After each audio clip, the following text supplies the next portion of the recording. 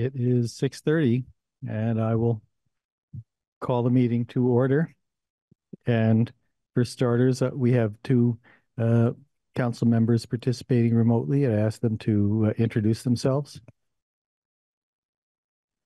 Hi, good evening. This is Adrian Gill, District One.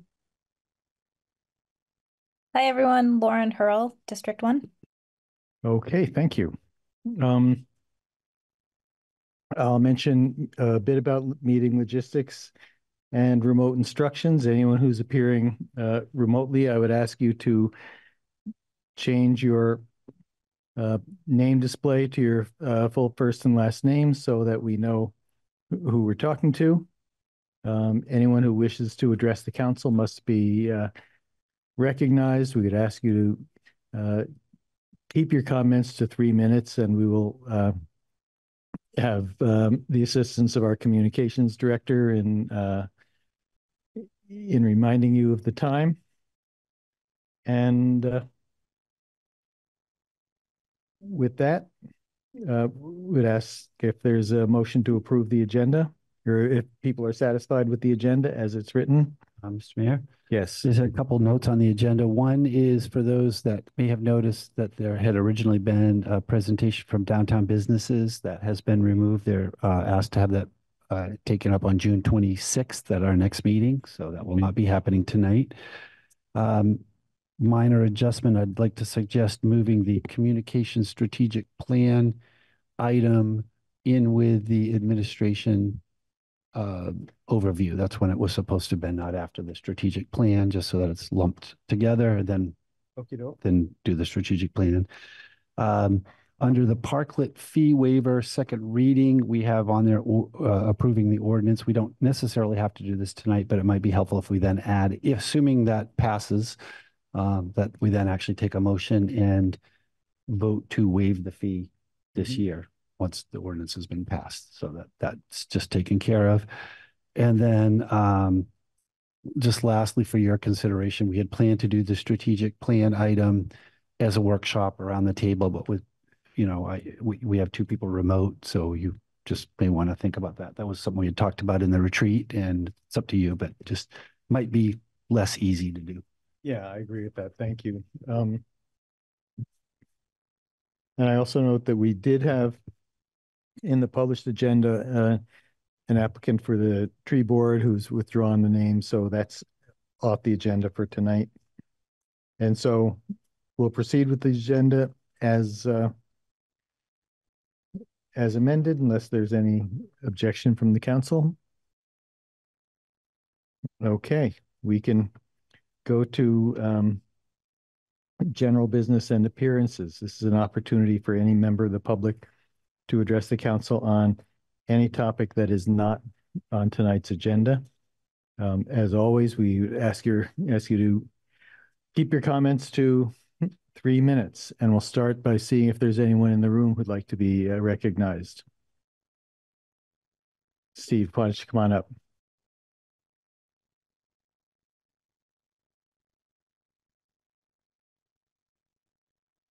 Uh, Steve Whitaker.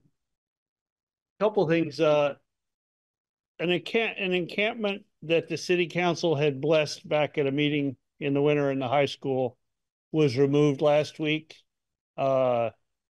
There's a new policy by VTrans that lays out their process, but nobody delineated where the city-owned land from the state-owned right-of-way is. The campers were right at the border between the, the, the city's parcel maps show that parcel being from the first, I think the second tree to the first tree to the third tree. In any case, without getting into the graphics, no one bothered to say this is city owned land. If you just be right there, you're okay. But instead, they destroyed whatever with a big claw hook and a dump truck and uh, trespass notices and yada, yada, yada. And our police department was involved in it. I reviewed all the emails at VTrans. Um, I think it merits attention and discussion, especially in that the city council had I'm not saying they were good housekeepers or houseless keepers or whatever you call them, but uh, that's a problem. Uh, the I should, I'll, I'll just jump in and say that I, it might be going a little too far to say the council blessed their presence, but when we we're request, confronted with a request to remove them, nobody on the council was willing to do that. But, you know, yeah, okay, that's that's fair enough. Uh, that didn't come out of my two minutes, right? right. Uh, so Oh, it's three, Steve, but no. the right. the the mattress that was thrown down the bank has not been retrieved. The tires that have been down the bank, uh, the shopping cart that I've been telling you about for three years has not been removed from easily reach. So we put this sustainable, environmental, responsible on our agenda, and we don't walk the talk. We, uh, I wonder if the council needs a method to require that these vigorous notes that Bill takes go somewhere and be accountable for response and action and completed because a bunch of notes scribbles that never nothing ever happens is ineffective and i think this council aspires to be more effective than that um, i think the council should know that when i i'm requesting and i'll do it in writing i'm requesting that the harassment around the boot and the tickets and the dysfunction in the city's ability to process appeals for tickets. Uh, my car was booted. I copied y'all in the complaints. Uh, Bill was out of town that week. I prevailed in getting the boot taken off, but we still haven't resolved the dysfunction in the appeal process. And that should not wait on an ordinance revision, you know, this fall or summer. This needs to be heard. You need, I'm going to ask that you potentially go into executive session and look at the emails and see how they're targeted at me or how they acknowledge the dysfunction in the appeals process and consider waiving privilege on those. Uh, Fra Fraser has refused an appeal to the head of the agency and probably didn't even ask y'all whether you want to consider waiving privilege. But to the degree that they're, they're targeted at me and that they acknowledge the dysfunction in the ordinance, then they, they deserve to be public. Um, but then at the end of the week in Shaw's, Fraser, I said, Fraser, are you, are you back on the clock? You know, I didn't say Fraser. I said, Bill, are you back on the clock? And he, in front of a bunch of people in the produce section, snaps at me. Why should I even talk to you? You don't live here. You don't pay any taxes here and then and and Finish your sentence. and and then he he even followed me back, came back around again and said, "You're going to hit up a city employee for you know for food." I was once a couple dollars short, and I you know borrowed a few dollars for to complete my chicken. But to, to shame someone for food or to create a scene where these people are looking around in the Shaws and saying, "Who the hell is he? And why is he talking to you that way?"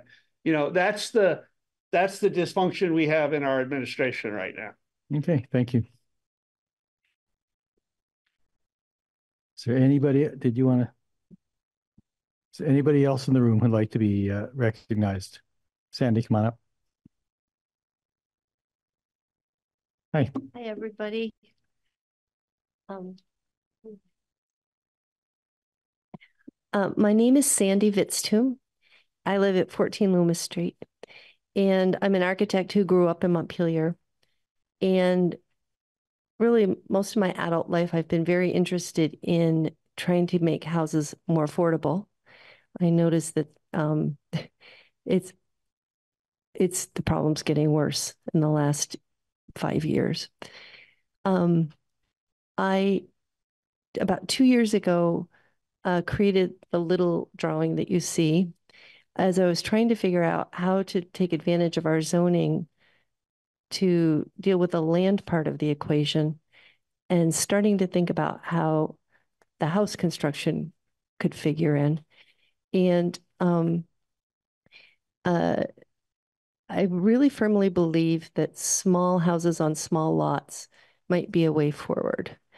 Um, I took it upon myself to make this drawing of uh, just to, to see what would happen if I tried laying out a similar kind of development on the um, country club property. And I was able to get uh, about 330 units uh, on that, which is interesting because it begins to open questions of what other kinds of development on the property might um, serve the same number of families. And this is just a beginning exploration. Um, I'm I'm trying to make sure that a house owning a house in this on a small lot like this um, would be less than rent in its total monthly expenses, which is quite a challenge. And I'm starting to examine that now for a one bedroom, a two bedroom, and a three bedroom house.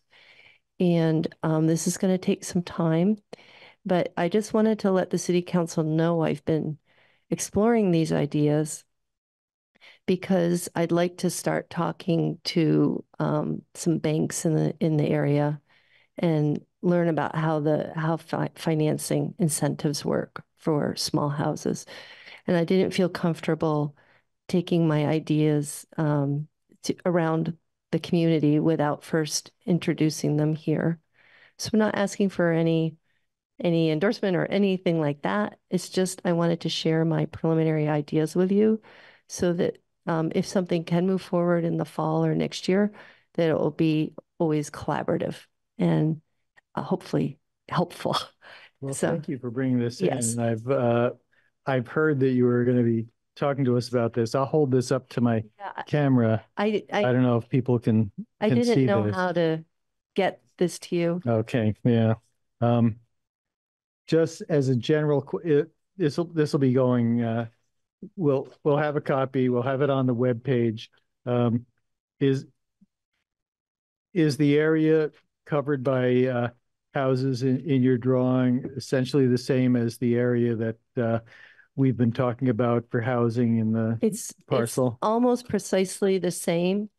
Thank you for doing Oh, that. Excellent. Um, um, and, uh, for holding it up. Um, so it's almost precisely the same by having little houses, they can go a little further into the woods. Um, but yeah, it's pretty much identical. Um, the planners that you hired did a really good job of analyzing what's buildable. And I myself looked at the USGS map to make sure they were slopes that were usable. Great, thanks. Thank you so much. There's a lot going on. We've Yeah. uh, put in the application for the growth, amended growth center designation. And so we're, that's a step in turn towards doing the engineering and doing the, uh, uh, the TIF district. So i- it's, a lot of this stuff is a ways down the road, but I appreciate your doing this. I'll be back in when I have some more facts to Okay. share. Thank you. Thanks. Um, anybody else?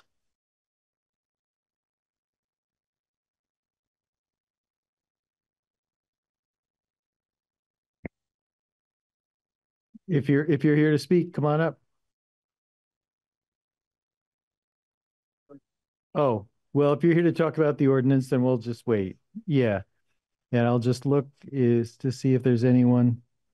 One question, Jack. Um, Just thinking about a previous agenda, we had um increasing our fees for public records and and our policy. Um, we didn't really discuss it.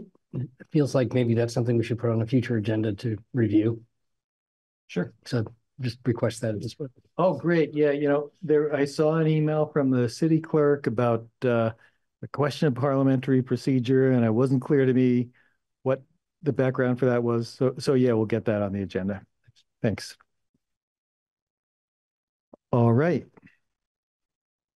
We can now move to the, I don't see anyone else in the room seeking to be recognized, and I didn't see anyone online. So we're, we're now to the consent agenda. Um, is there a motion to approve the consent agenda? So moved. And is there a second? Second. Okay, it's moved and seconded. All those in favor signify by saying aye. Aye. Aye. Any opposed? All right, thank you. Now we have an uh, proposal for, or an application to the Development Review Board. And I believe this is an application for someone who's already on the Development Review Board to be reappointed. Yeah, I'm going to, finding that uh, spot right here. Uh, Catherine Burgess. So, What's your pleasure? Would you, like someone want to make a motion to appoint her, or we go into executive session? Carrie, Appoint Catherine Burgess to the um Design Review Board. any discussion? All those in favor signify by saying aye. Aye. Uh, Sorry?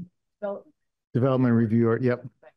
Yeah, it's, it's the Development Review Board and the Design Review Committee, and they're two different things, although it is kind of confusing.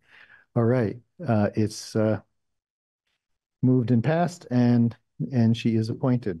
Thank you. Now we're up to Peter Walke, and I was talking to someone just today who was very excited about this. Peter and Arnie together?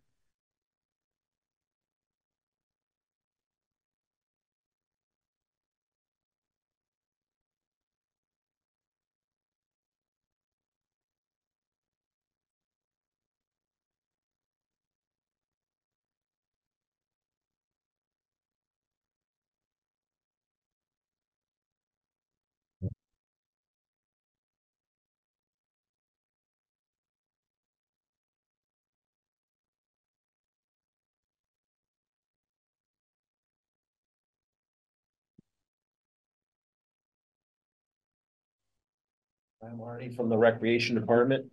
Um, we've been thinking about, you know, ideas for a potential disc golf course now for quite a while.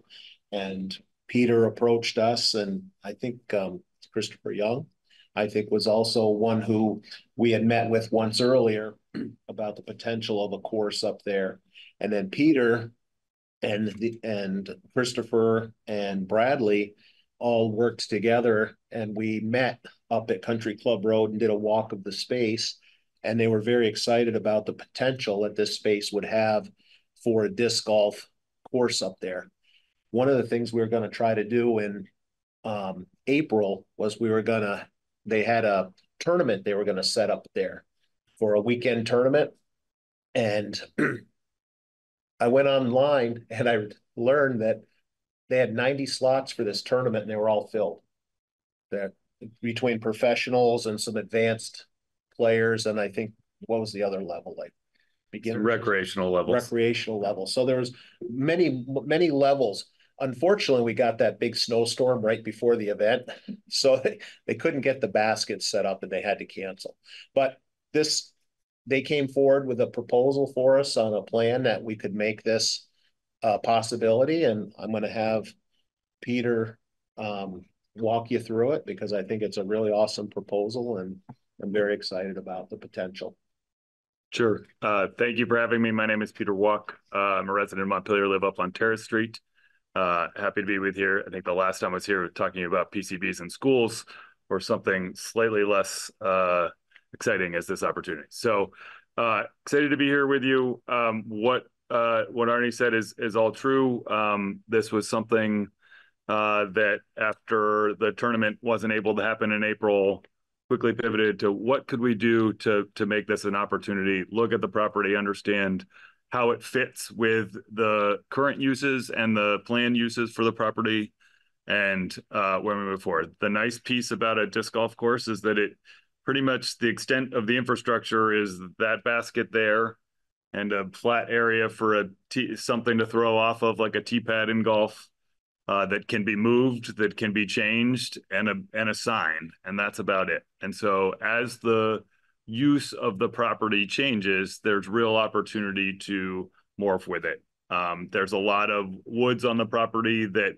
really doesn't have development potential, as you've seen, as as your housing consultant looked at, but I, I, we don't need housing level development land to uh, throw a frisbee across. Uh, so there's great opportunity here to think about that and to think about what's possible now and then what it might be able to change to. Um, many of the disc golf courses that get built in this country and abroad are sponsored by uh, the local community, and we have sponsorship money to pay for the full cost of construction. So there'd be no upfront cost to the city in terms of putting this into place. So we'll start there. Um, so I just, you know, I made this a full and complete uh, presentation so folks could could read it online. Obviously, lots of good things in the work. Housing is what we need. You heard you heard that uh, from our previous speaker. Uh, very excited to mesh within that work. Really thinking about how we can integrate with the community zone that's planned, the playing fields, walking as that's happening, the Nordic trails. We've been in discuss in talks with the the Nordic uh, or the Onion River Nordic folks to make sure that we don't put things where the trails normally are groomed, so that there's no conflict there. Um, trying to figure out how to engage in a way that's really meaningful moving forward. Uh, disc golf itself is a really low impact recreational opportunity. Um, it has become a big economic driver for uh, different parts of Vermont. Uh, the two courses at Smuggler's Notch, for example, are the number, I think, believe number five and number seven courses in the world. They attract thousands of visitors each year. Last year, they received a visitor from every state in the US, the District of Columbia, and 16 separate countries with more than 6,000 rounds, I believe, at each uh, course played. Uh, that is a pay for play course. Uh, it's it's only like 12 bucks to play, so it's pretty reasonable relative to the. Oop, I think we're coming back. I, I promise I didn't do anything.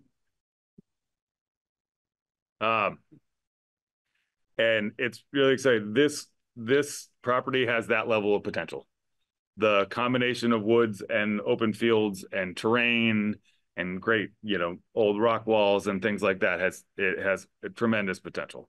Um, and so we really see this as a great opportunity. Why move forward now? You're looking for existing use for property in the interim before the um, before the housing gets built.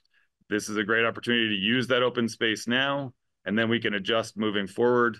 Um, we have already uh, worked extensively with the rec department, with Arnie and with Heidi, uh, uh, two uh, local folks involved in the disc golf community, Bradley Schott and uh, Chris Young, who runs a, a, program called Disc Golf Vermont, which runs tournaments throughout the state, uh, where usually about 150 to uh, 300 people show up um, every other weekend throughout the summer.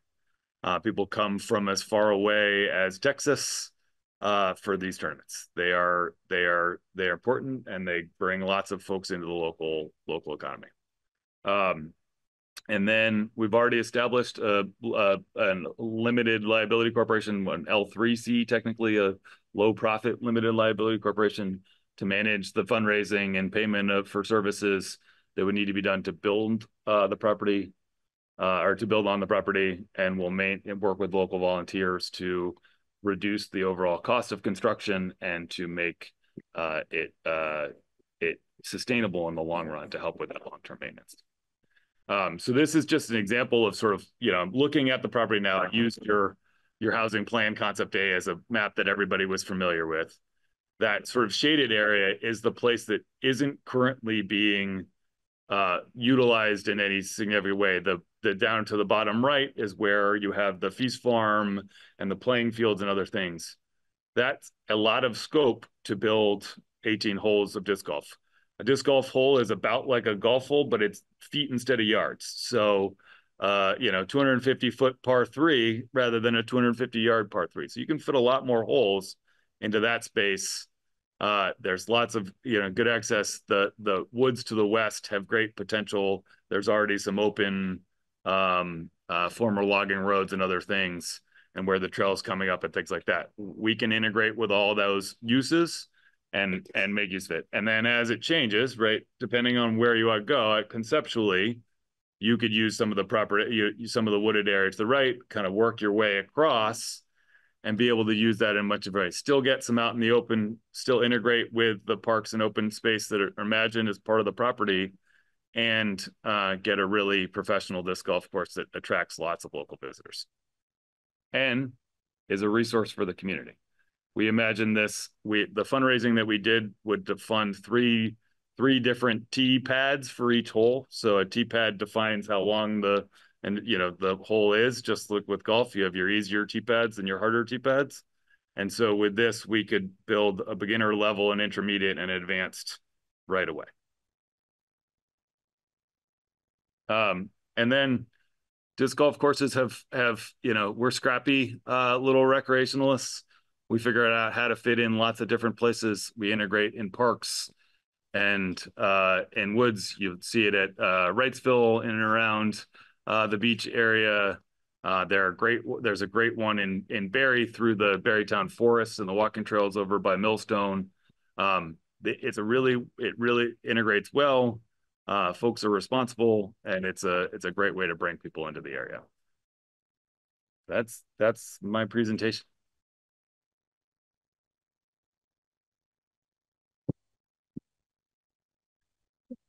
So this is very cool. So what do you need from us tonight?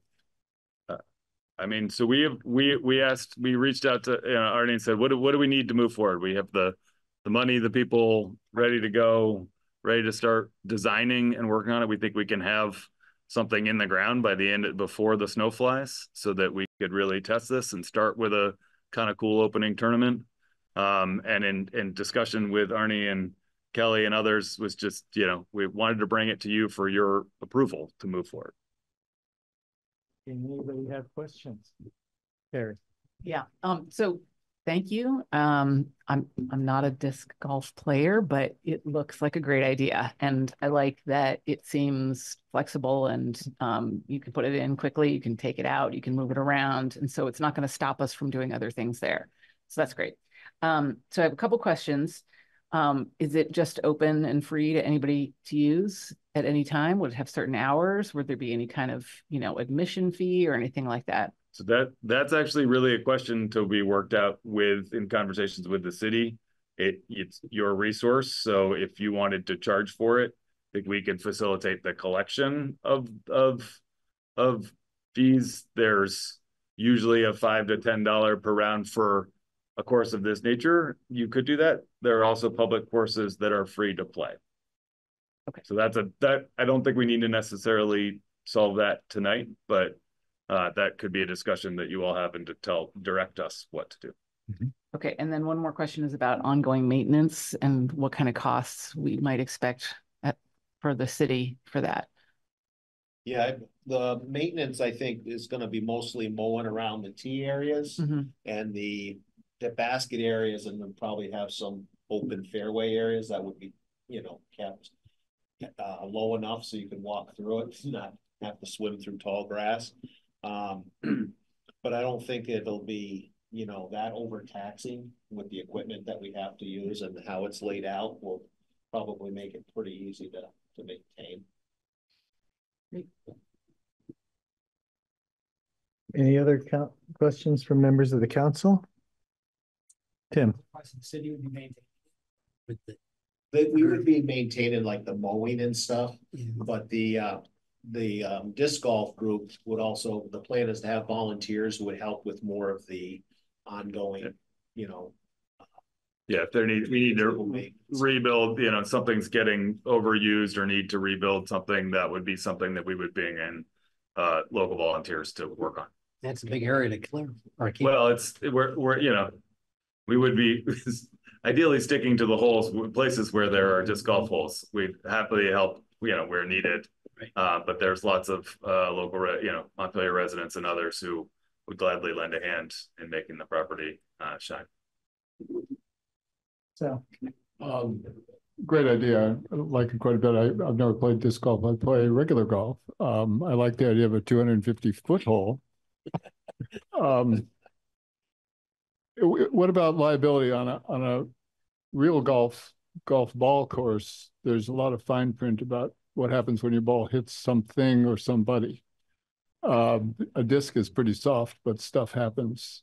How do you how do you deal with that? Yeah, I mean we we're able to mitigate conflict pretty well by good signage, by people keeping their eyes open. Um, I I don't have a specific answer for you how it's dealt with in other, you know, there are public courses in you know 10 or 15 other courses other places around vermont where the you know i think i believe the you know, sort of the city is mm-hmm. covered through their normal insurance. You've got mm-hmm. uses of the property now that frankly I find riskier than throwing a frisbee. So Any other, Tim, did you have another question? The question is, would you do, just looking at your sketches, does it make sense? Because you kind of got a, a first location and then you would move it when we go to develop it to a new part on the property.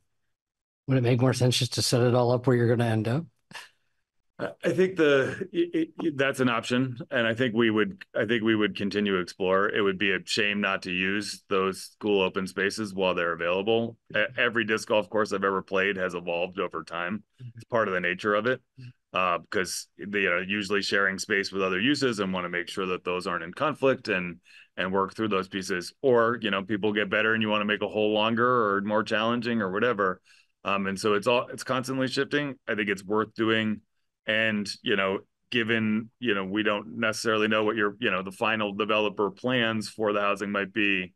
I'd hate to miss out on, on something that might be open, uh, you know, if by not, you know, by doing that. So I think we can, we're, the, the communication around the plan and how to adapt, uh, is a key one from my perspective, making it clear to everybody that this is step one and there'll be, you know, other steps along the way uh, to what you know, quote unquote, final uh, layout looks like. Thank you for the presentation. Uh, Arnie, you meant, uh, both of you mentioned about the tournament. Uh, have you considered uh, adding this to the recre rec rec um sorry, the summer camps and everything recreation center offers? Like, uh, We thought of doing, um, is there any plan about that? yeah, we, we've thought of incorporating some camp potential. Um, also setting up classes for people who want to do that. And then also we are talking about, um, um, some club type activity where different clubs might play each other. My, my daughter's future husband, he plays against another group and every other weekend, somebody else does the barbecue. So they go someplace, they play a round of disc golf with the two teams and then they barbecue afterwards. So it will be active, right? Yeah. All around the year. Okay, good. All right, any other questions from members of the council? Um, members of the public? Steve, you look like you're interested. Um, Steve Whitaker. Uh, I have, this is a good recreational use, but I have concerns about the way we're going about piecemeal planning, uh, what to do in the interim. We know we've got large carrying costs, engineering, feasibility, due diligence, et cetera. I don't see that this one brings in revenue. There is discussion with state officials and some local officials about, uh, addressing our emergency housing uh, situation there with state support.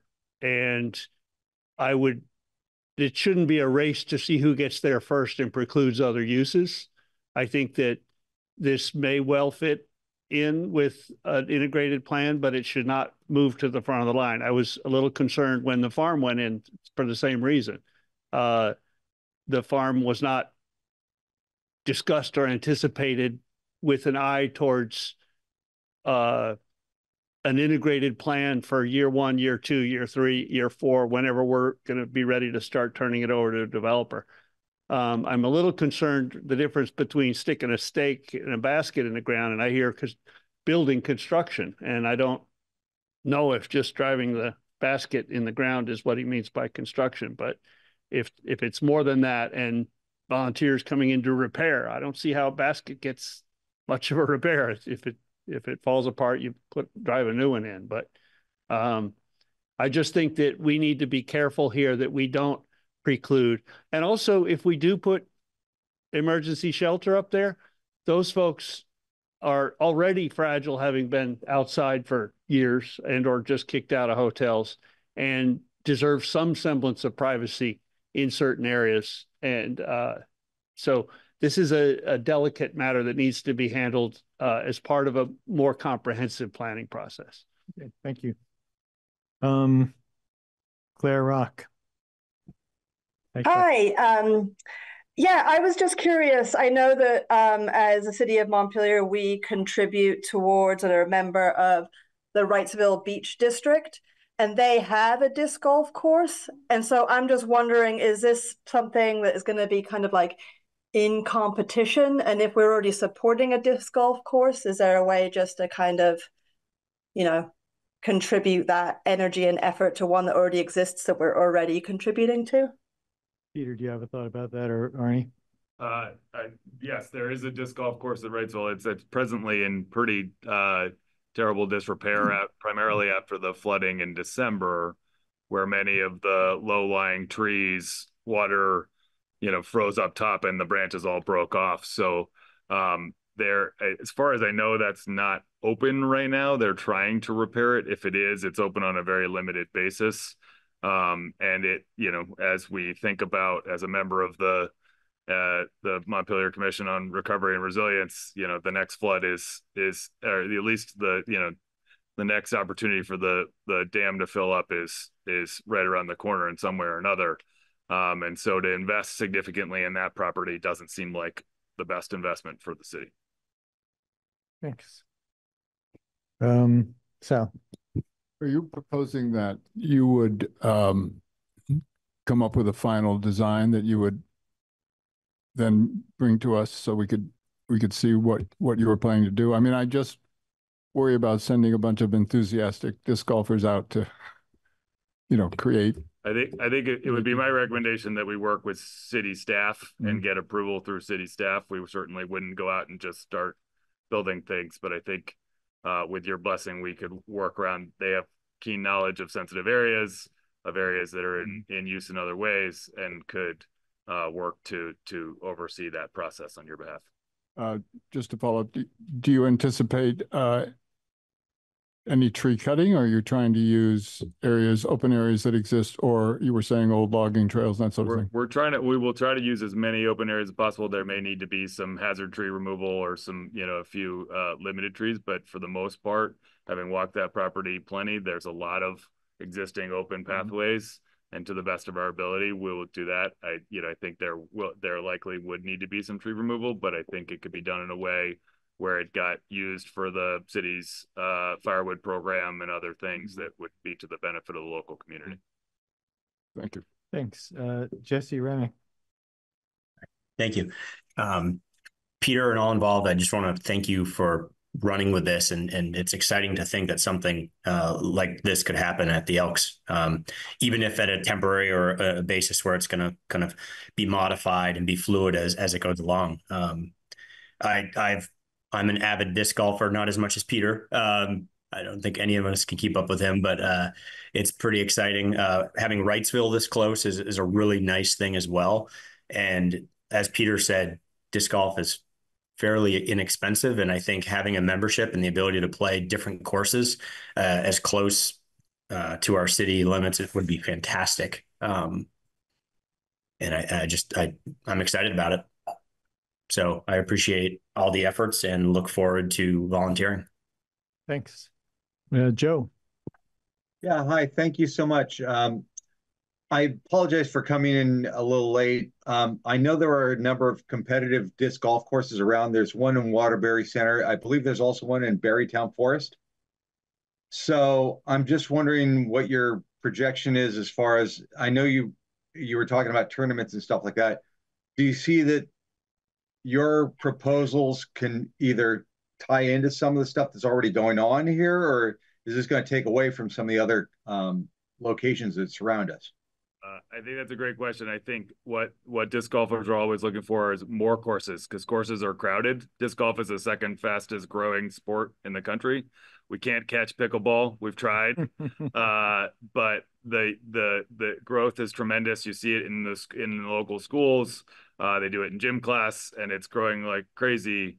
Uh, just alongside the growth of ultimate and other frisbee sports. Um, and so the the need the demand for additional courses is strong. Uh, I've spoken to uh, several of the the the area private course owners as well who charge a fee and and bring people on as well as people who use the the local uh, municipal courses and everybody sees a need for more and doesn't see this as competition. And I do have one follow-up question. Now, I apologize for again for coming in late, but I assume you guys are still working on a business plan and a proposal as far as some sort of lease arrangement with the city? We, yes, we would need to work that through for sure. Okay, that's all. Thank you. Thanks, Joe. Uh, Adrian. Hi, good evening. Um, thank you for this presentation. Um, I just wanted to say that this is, you know, one of my important um, kind of thoughts around economic drivers in our city. Um, recreation, I think, could be a huge um, asset to our community. And so um, I've worked with Arnie and Alec and Heidi, and I think, um, you know, including this in the all around adventure that we're thinking about for Montpelier.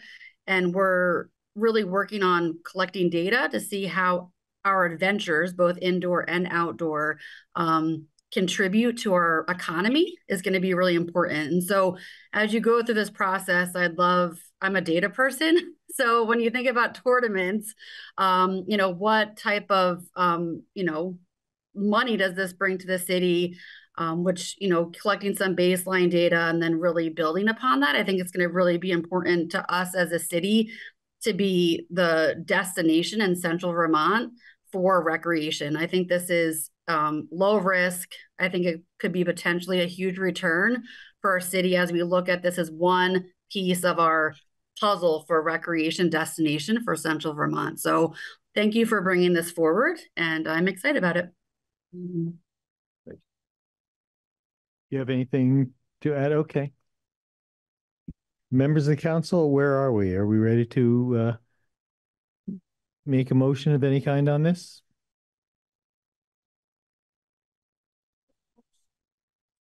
Giving the authority to city staff to work on this. Yeah. Well, and, and I would say, yeah, to authorize them to go forward, assuming they come up with a proposal that is uh, meets with the approval of uh, city staff, the head of the heads of the relevant departments.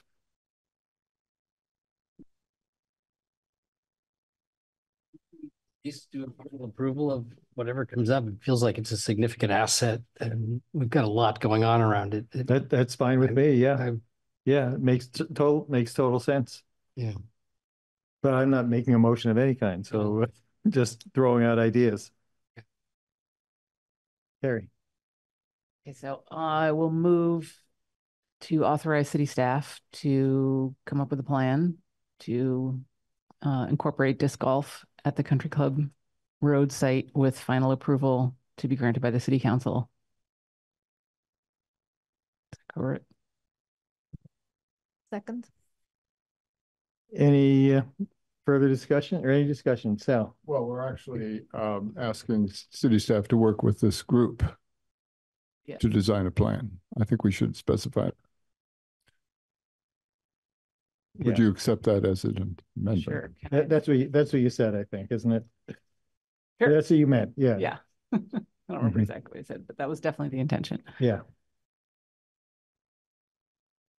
Any other discussion?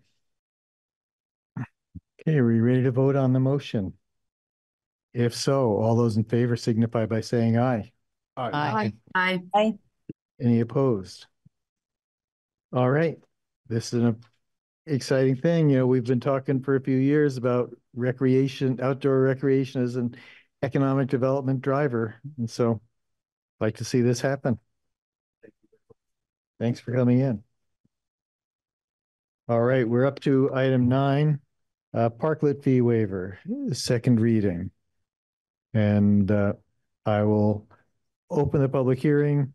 Bill, do you want to give it 30 second? Yeah. So basically, uh, this is a proposal to amend the parklet ordinance to give the council the authority to waive fees uh, under, you know, what you consider to be uh, extraordinary circumstances, or I can't remember the exact wording. Uh, you've already talked about this, signaled that it was okay. You've held a first reading, and this is the second reading. And this is, I think, then requested you do a follow-up to actually approve the waivers, even though I think it takes 10 days or something to be effective, but to approve the waivers upon of the effective date of the ordinance so that um, people don't have fees to pay this for this year as they recover from the flood. Okay, since it's a public hearing, I'll uh, see if there are any members of the public wishing to be heard on this. Uh, Steve? Yeah, Steve Whitaker. Um, I just want to raise a recurring issue in that the use of parklets when the businesses are closed, uh, it should not be exclusive, that this is still public land being temporarily made available. Uh, and some folks have started putting up, you know, chains and arranging furniture to in intentionally block it. But the other thing is that our sweet street sweeping, for instance, was defeated by the parklet in front of Three Penny getting in there before we could get the sand and silt out of there. So all all that accumulated sand and silt from last summer's flooding was not cleaned up, despite the diligent effort of Public Works in the recent weeks to get get ahead of the sweeping. So who's responsible for getting the sand that gets trapped along these parklets? And I'll again raise the one in the fire lane over along uh, the Haney lot um, that he just takes the no parking sign and moves it out and bolts it on the outside of his deck. And that's not safe if that fire lane. And then a truck, delivery truck comes and parks further out in the drive. So these parklet, the parklet ordinance needs work, and you gave way too much discretion to the city manager, and he's made a mess of that too. So uh, those are issues that I think need to be addressed. And the waiver, especially because you're in effect waiving fees, how do we get? Can't we use some of that money to uh, potentially clean up around these uh, parklets that's not getting done because of the existence of it in those places? Thank you. Anybody else, any other members of the public? And then I'll go to members of the council. I don't see anyone else in the room who's looking to be recognized. And I do not see anyone else on Zoom who's looking to be recognized. Um, we, we do have members of the council now. Carrie. Okay, thank you. Um, I'm I'm in favor of this. I'm planning to vote for it. I I do just want to comment though that um I mean why I'm in favor of it is because these businesses with parklets suffered during the flood and anything we can do to kind of help them out. But I just do want to make the point that there are other downtown businesses that don't have parklets that also suffered because of the flood who are not getting some kind of a financial break because they don't have parklets. And so we are the the businesses that have parklets, one could argue that they're already at a bit of an advantage over others. Like if you've got outdoor seating as a restaurant, you're probably you're a bit more attractive than a restaurant that doesn't have outdoor seating. And so we're giving an additional benefit to those businesses that already have some competitive advantage over other businesses downtown. So I'm not thrilled with that part of it. I just wanted to make that comment. Thanks. Uh, Pelin, then Tim. I just want to add on uh, what Carrie mentioned. Is there any way we can see if these businesses need this? Like, I don't know, sometimes we ask, go profit loss, or can they just uh, show us something that they need the support? Or we are just saying that because because of the flood, you just have have it. Three parklets um, that are in Three Penny, Positive Pie, and I don't know if uh, Capitol Plaza is out yet. So, so there's two. I'm basically saying those two, we just wouldn't charge fees this year. Um, and we, you know, both of them suffered pretty heavy hits in the flood. Um, you know, Councilmember Brown makes a good point. Um, to have a parklet, one has to go through a process of review and approval and actually construct them and they're I think I've been told approximately ten thousand dollars to construct. So some businesses have also made an investment. And uh, you know, everyone we're we used to have a restricted number of spaces, and now it's pretty open. So a lot of people have the opportunity to do it if they choose, and they may or may not choose. So these are folks that have chosen to make an investment, and part of that investment is the fee they pay the city. Tim start out to ask how many, but you answered that. So blather on to say I, I do favor this. I think it makes it a dynamic and interesting downtown. And the businesses that do do it, we did see some of their numbers and travails through the, uh, the process when we did appeals uh, this this last spring. So I think we have a pretty good sense that they all were hit really hard. Um, so were others, but I, I do applaud their efforts to create these and, and make Montpelier more vibrant. Thanks, uh, Adrian. Yeah, I just have um a quick question. One, I love I love them. I think once our you know the vision for Montpelier is to bring in more tourists, to bring in more money. You know that's one of our you know strategic goals um, to have our economics you know continue to to increase so that we have a vibrant downtown. I think the parklets add to that. Um, so I'm definitely in favor of that. But my question is, and I was just trying to read through the the documents, did they request this or is this something that the city is gifting them? Like I can't remember the history of how this came about. So I'd be curious. Um, and I'm sorry if we we talked about this last time, I just forget. So um if we I just want to know. The, re the request came to us through Montpelier Alive on behalf of the businesses, and we raised it, I think, under our gen, you know, our, our discussion, loose discussion at the end of the meeting to see if there was interest in moving it forward. And then we then warned it for the official hearings.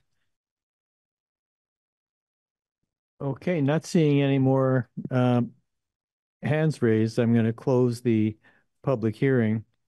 And uh, at this point, this is a, this is our second uh, reading. So at this point, we could uh, it would be open for a motion to to adopt the proposal.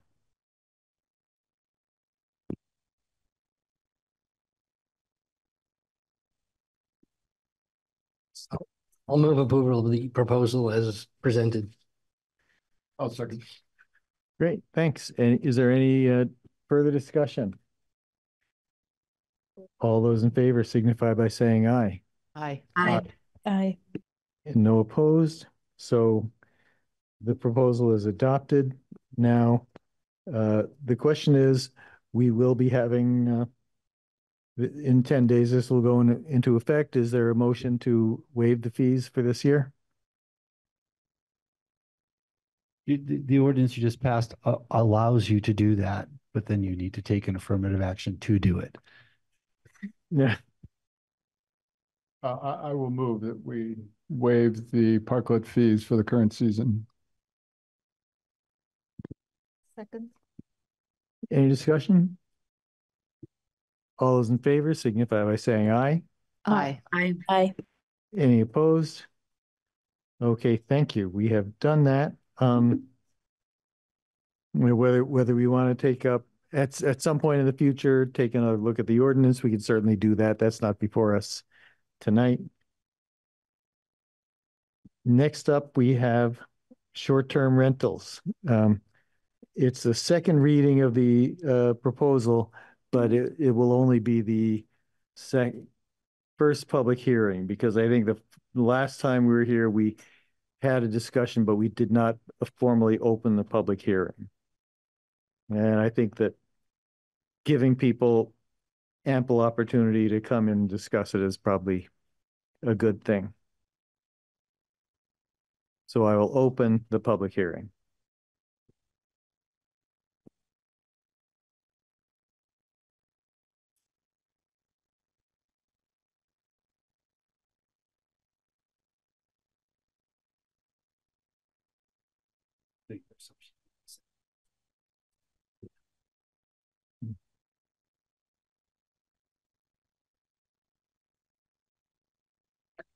Hi, everyone. I'm Rebecca Copians. Hi, I'm Emma Zavis. We are representing the housing, the Montpelier Housing Committee today. Thank you for having us. Um, and we have other members with joining us as well.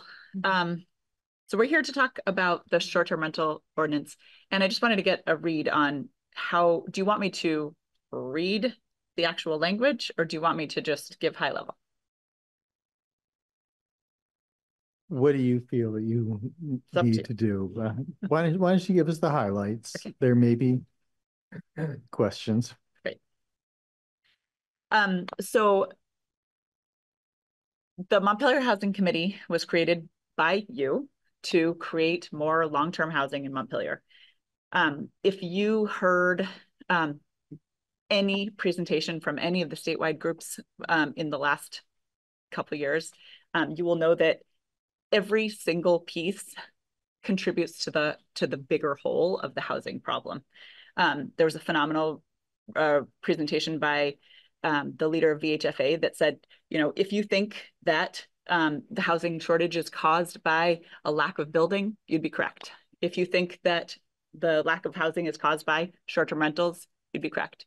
If you think that housing shortages is caused by zoning, you'd be correct. There are so many different pieces that um, collectively contribute to um, the housing crisis in Montpelier and in Vermont at large. Um, and we, you created this committee to give you um, proposals, um, which is what we are we have done today. This was the first um, kind of salvo. It is not an end all be all uh, for our housing problems. We need to build a lot of housing. This is one very small piece of the pie, but it is a piece. And um, so we believe that you need to take action now because we need near term, medium term, and long term solutions. This is a this is an immediate term solution. Um, medium term could be zoning. It could be you know other proposals that that the city council may consider may consider. And long term is building, actually putting houses on the ground. But that is a long term project. It's not going to happen tomorrow. Whereas this policy um, could be could be in effect much more quickly, and you could put housing, long term housing, on the market in a much more um, expedited way. Um, we want to support people who live here, who volunteer when there's a flood, um, who go to school um, in our elementary and middle and high school, um, and want to live and work here.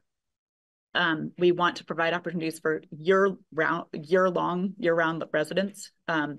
And we think it's critical that people have an ability to live and afford to live in town.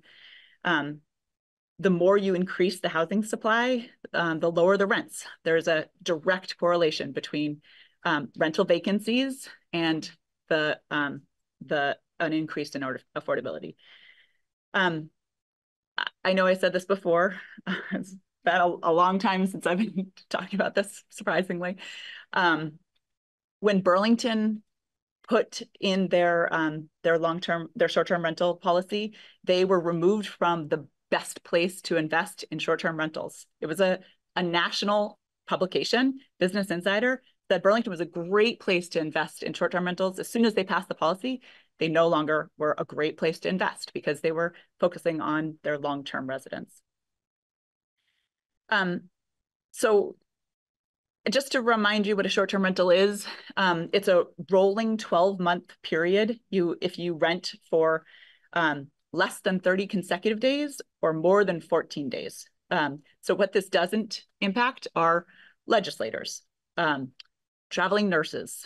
Um, it excludes specifically hotels, motels, inns, um, uh, sober living houses, schools, hospitals, similar, um, similar facilities.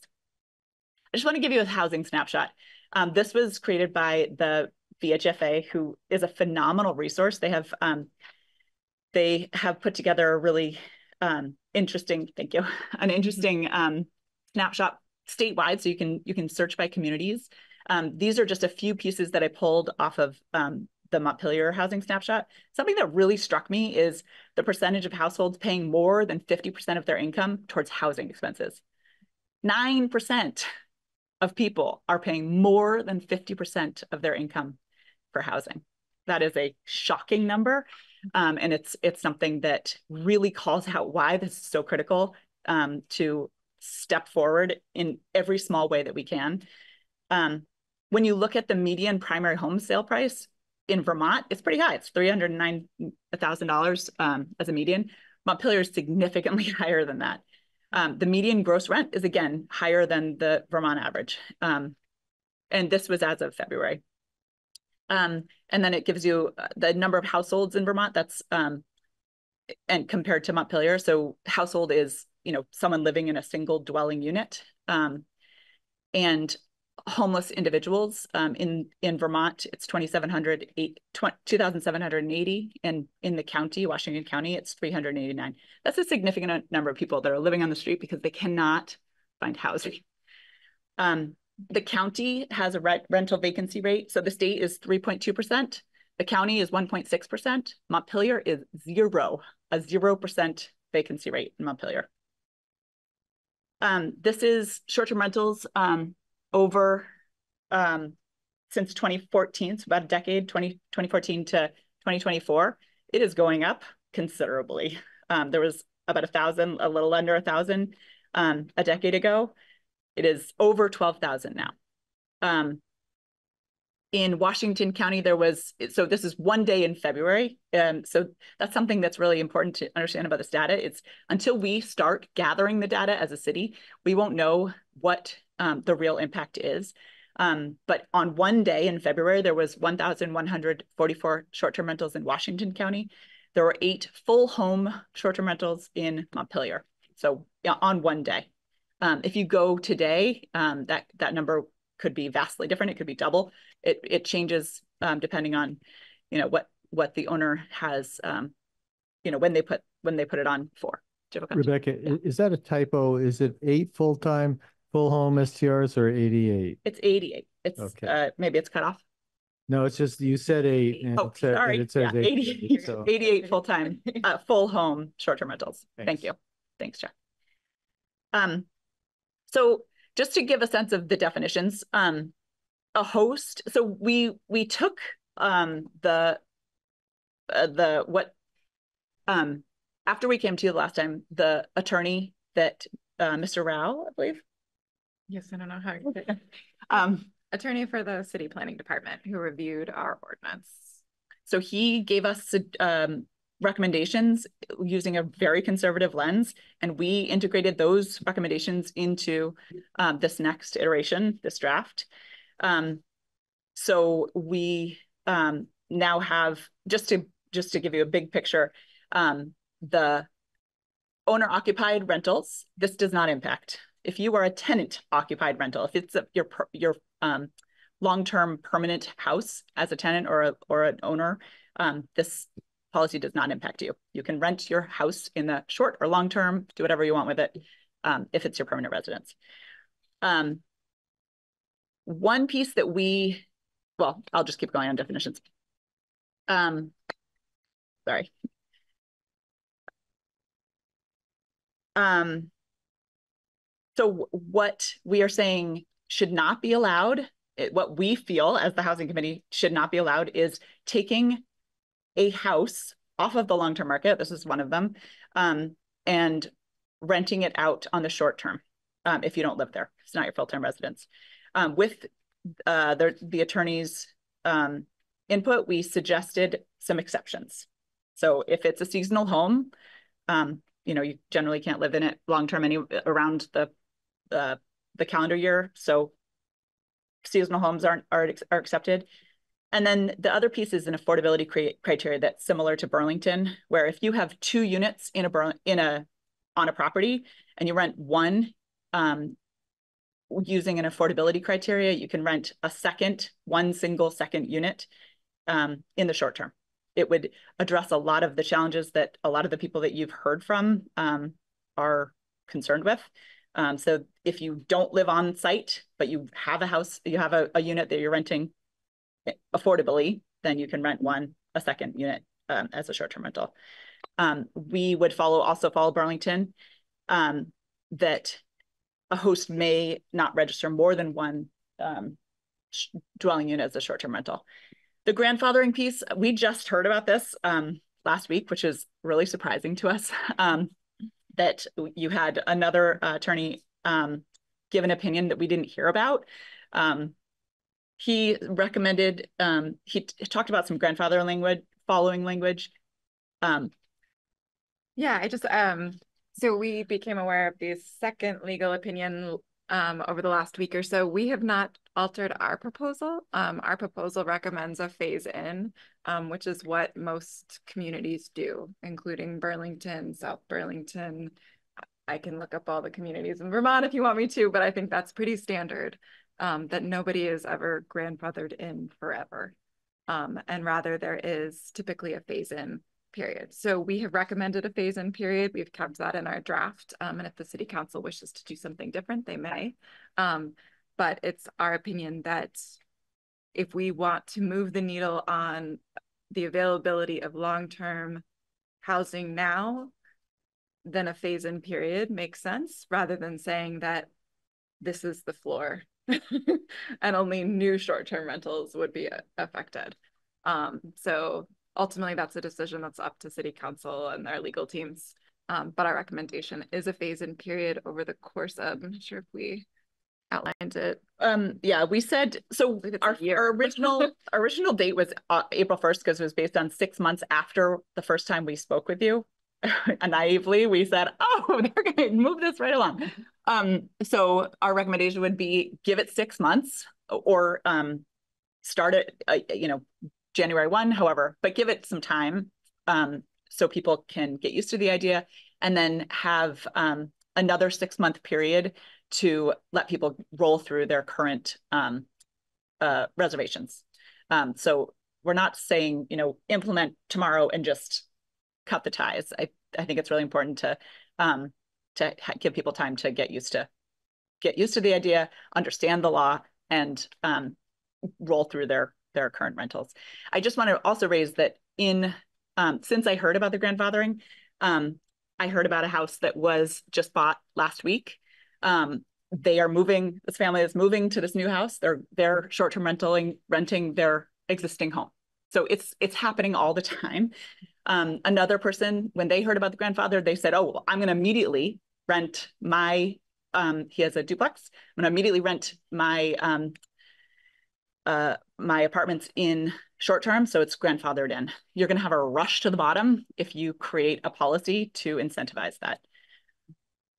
Um, so we would suggest you have a registration fee that um, that has a um, a list of of data points, so you can understand what the um, what the current state is every year, um, and you can adjust your policy annually if you feel the need. We feel like this a, a, very important piece of this is uh, building standards and um, and safety. So having ensuring that people have a fire safety plan. Um, ensuring that they have a local emergency contact. There was someone recently that um, their boiler exploded as a renter. What if they didn't have someone to call? Imagine the flood that would happen if if they didn't have a number that was readily available of someone that was local. So this says you have to have someone who is local to, to Washington County that's an emergency contact.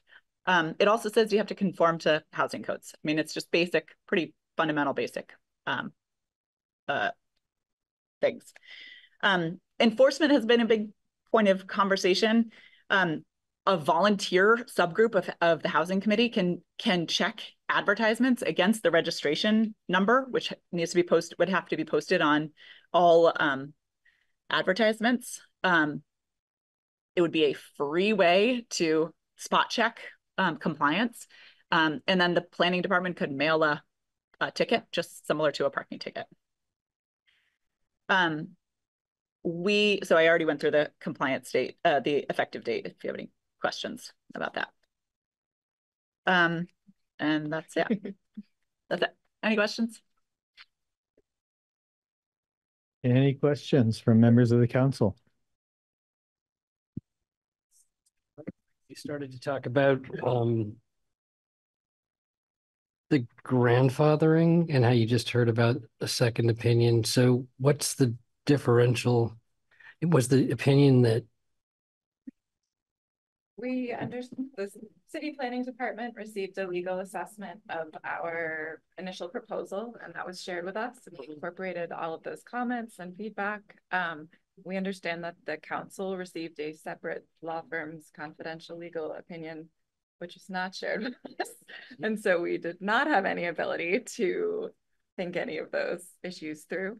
Um, I am unclear who in the city has seen both opinions and who has not, etc. So I think those are probably next steps for the council to figure out. Um, but we have done the best of our ability to answer all questions that have been put before us. And just to be clear, we are we are a volunteer committee and we are not attorneys. and I think it's really that's that's why it was really frustrating to get this other information in literally the 11th hour, you know, two days before we um, were presenting to you. So I think it's, I'm, I'm really shocked at how this process is rolled so out. I can explain that. It's probably my fault. Um, we, the council asked for an opinion in the fall when this first came up, simply about what our authority was, what the council's authority was to enact the ordinance. So that was this question that was posted. So do we need a charter change? Do we have authority to do it on our own? That kind of thing. So that was what was asked.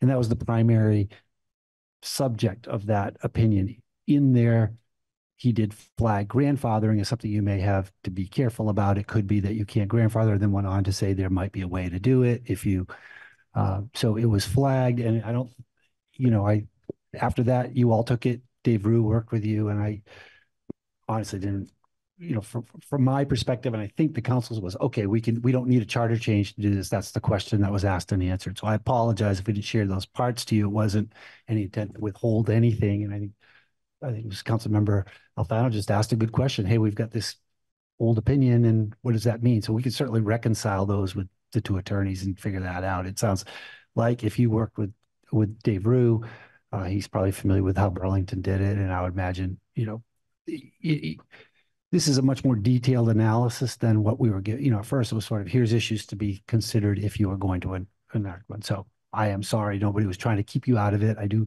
appreciate that. It was certainly, like I said, um, I'll I'll certainly take the blame for that because I didn't even share it with the planning staff. It wasn't like they kept it from you. They they asked me about it. I think it was yesterday or today. I said, "Oh, Probably, probably to disclose it, we would take a vote of the, uh, since we're the client, we own the uh, privilege, we would take a vote of the cl- council to say we authorize disclosing it. Correct. Okay. Uh, Pelin, you for the presentation. I think it's getting more detailed and like more to the point, so it is great. Uh, my question will be to you, Bill. Last time uh, we asked uh, what uh, the cost will be to the city to uh, have this practice. Is there any update on it? Like we asked, like like a man hour, right, and the other costs. So I believe the planning department's done some work on that. Josh, are you prepared to talk about that? Community and economic development specialist for the city. I mean, we've gotten cost estimates for compliance for some various platforms, and those cost estimates are about ten to fifteen thousand. Um, there's not a lot of um, platforms out there that do host compliance, so we're really restricted. But the two major ones, um, Granicus and I'm, I'm can't remember the second one, but those were ten to fifteen thousand dollars based on the number of short-term rentals um, that we have registered that they could identify. So how we will find this money? Where is where is it in the budget? Is that literally the only way that this could be done? I mean, Well, I we're think- talking about uh, less, fewer than a hundred short-term rentals. I, I, I don't mean to be, uh, it sound like an idiot, but a spreadsheet and a list, how complicated could Yeah. it be? Well, I think I think the housing committee's um, suggestion is that there would be a group of the housing committee that would sort of be the enforcers to do the research. Um, that is what the city of Winooski eventually ended up doing. They were going to go with Granicus, um, and that was going to cost them about fifteen thousand dollars. And they have very similar, um, a similar number of short-term rentals as we do. And so they decided not to go with that, and they're just going to try to figure it out on their own because of the cost. so Uh, does that estimate, uh, include the, uh, the cost of, of administrating the, um, rental registry? That's part of the proposal. Um, no, that wouldn't be. But I mean, so if we're on average, like rental registry, you're looking at an application, right, to processing a payment fee, around a hundred applications a year. I, I don't know what that equates to, but what does that look like? That maybe 30 to 30 minutes, 60 minutes of work per application a year? Thanks. Pelin. Um, and also, um, the proposal has name definitions and like additional information. Will it change the number of the uh, houses we are talking about, like 88? There will be like decrease or increase, like whatever the change on the proposal will not uh, affect that number. So we will still have 88 units or houses we are talking about, right? So um, the eighty-eight number was one day in, in, in February twenty twenty-four. And so every day is a different number. So today it may be sixty. Tomorrow or next week, it may be hundred and twelve. I mean, it, it's all, you know, depends on when people are putting their house, their units up for rent. Okay, So it's, see. it, um, it's not, you know, eighty-eight is not Okay. the number, but it's very, it, that's in the current state. I Um, see. And so if we were to um, restrict um, investor-owned properties, it would hopefully decrease by, Okay, so is there any data of who, like the number of uh the people who will register? that's why we need this to get the data. Okay, That's so we will, point. it is Yeah. the next step. Okay, thank you. Yeah, thank you. Could you do me a favor and uh, stop sharing your screen? Uh, and Adrian, I see you've got your hand up. Yes, thank you for this presentation. I know that you all have worked really hard on this. Um, and it's complex, right? So, you know, if I wave my magic wand, we would have 300 housing units and bring in, you know, a whole bunch of people into our city. And so that's not going to happen tomorrow. But one of the things that keeps like coming into my brain is, you know, our um, bringing in tourists. And so we have between our hotel, our inn, and our the hotel in Berlin, there's 193 available rooms. And so some people don't like to stay in hotels. Some people like to stay in short-term rentals. So I I don't know what the balance is of, you know, I know there will still be short-term rentals that will be available through um I wish I just saw that slide. I don't have it on my on the agenda, but there was, you know, the definition of the short-term rentals will still be, you know, in a furnished house or a dwelling. I'm trying to look at the um the definition, but I, think there's a fine balance here of I don't want to eliminate all short-term rentals because I think it's a way to bring in tourists and, you know, encourage visitors to our city. And so I think I'm just trying to reiterate what what you're proposing is to limit short-term rentals from investors that are going to buy houses to turn them into solely short-term rentals. I'm just I want to make sure I'm understanding very clearly what we're trying to do and what problem we're trying to solve by this ordinance um, without having unintended consequences in the future of limiting tourists who um, enjoy you know, diversified options for, um, you know, staying in a place when they're on vacation. Um, so this would not eliminate short-term rentals in any way. Um, there would still, it would still have, if, if you are, I mean, there's a lot of folks in our community that rent their whole house or their, um, you know, a part of their house, um, quite often. Um, and this also, uh, um, makes room for one investor owned property if they have another, um, another unit that's, that's affordable. So imagine um, a duplex. Someone has a duplex. They they live elsewhere. They have a duplex. They can rent one in this in this ordinance. They would be able to rent one unit if they have um, if they follow an affordability criteria, um, which I can read if you'd like. Um, and then the second part of the duplex they could rent in the short term. So there is a there is a path for investor owned um, properties if they would like to to choose to follow that path. It's in no way eliminating short-term rentals. There would still be many options for diversified places for people to stay. Thanks. Likewise, if you lived in that duplex and you lived on one side, you could short-term rent the other side, or if you had an ADU on your property. So the terminology that we chose to use is host. Um, and so the host can be the the owner who's the primary resident there, or it could technically be another person who is not the owner, but is that is their primary residence. Um, but it talks about sort of the property. So this, there will definitely still be short-term rentals in Montpelier. It's not going to be the end, but this targets more specifically when Rebecca says investors, she's meaning folks who are buying up multiple houses um, beyond their primary residence um, for profit, essentially. Like to see if there are other people in the room, since we're still in the public hearing phase, if there are other people here who are interested in uh, being heard on this. Yeah.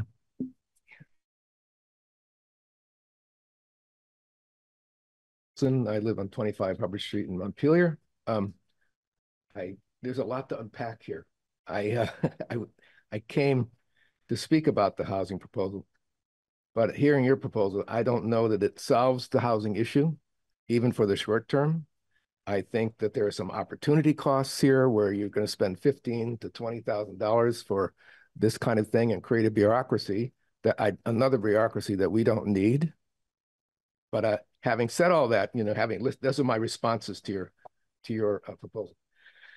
Uh, here's what I'm going to say. Do we need more housing? Great question. How can we create more housing? Another great question. Build a new bureaucracy to register, regulate, and tax short-term rentals? I think that's the wrong answer. Um, we are much more interested in a city vision and effort to support housing development. What happened to the proposal and uh, uh, cottage development up near um, Upper College Street? What happened to the existing development possibility down at Hubert Road? What other things are in the pipeline? We just heard from Sandy Vitzthum, who was a former student of mine, by the way, make a great proposal uh, for the Elks Club. We also in, in also in, are eager to hear more innovative ideas for more feet on the street. Instead of taxing and regulating short-term rentals, what about incentivizing locals to create spaces for tourists and visitors who will, be, uh, who will bring business to the downtown? We locals care a lot about the health of our downtown. I don't want to see this place die. And we can't do it all. We want visitors who need short-term rentals to enjoy what Montpelier has to offer. These rentals are not the problem. The lack of housing is the problem. Thank you. Thank you. Steve.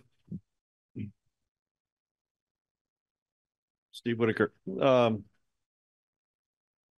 I think that it we understand that developing new housing takes years. It takes years in the planning, the investment, the land acquisition, the permitting, even finding a contractor to build a house is right now sometimes a two year or more wait. Uh, we have seen the speculation of short term rentals being bought up by folks and corporations, LLCs, et cetera, to grab markets off the grab properties off the rental market that would normally be available to Montpelier at affordable to Montpelier because they can make three, four, ten times the money using it as short-term rentals. We can't afford to have a, that much erosion, further erosion of our available housing stock for rentals. Much of it needs to still be rehabbed. And the speculation, the rampant speculation that's displacing Montpelierites cannot be allowed to continue. So the ordinance is necessary. Uh, grant the grandfathering is a is a bad idea uh, because it will create a real rush to get everybody positioned too quick. I would suggest you implement it now or implement it the grace period and it's take effect, you know, January 1 of 25 or something like that. I wouldn't string this out. Um, the register, this is not a bureaucracy to manage. It, you know, to keep track of how many there are and are they properly advertising their registration number in their ads? Are they cheating the system? It sounds to me it's going to be about a hundred dollar annual fee per unit.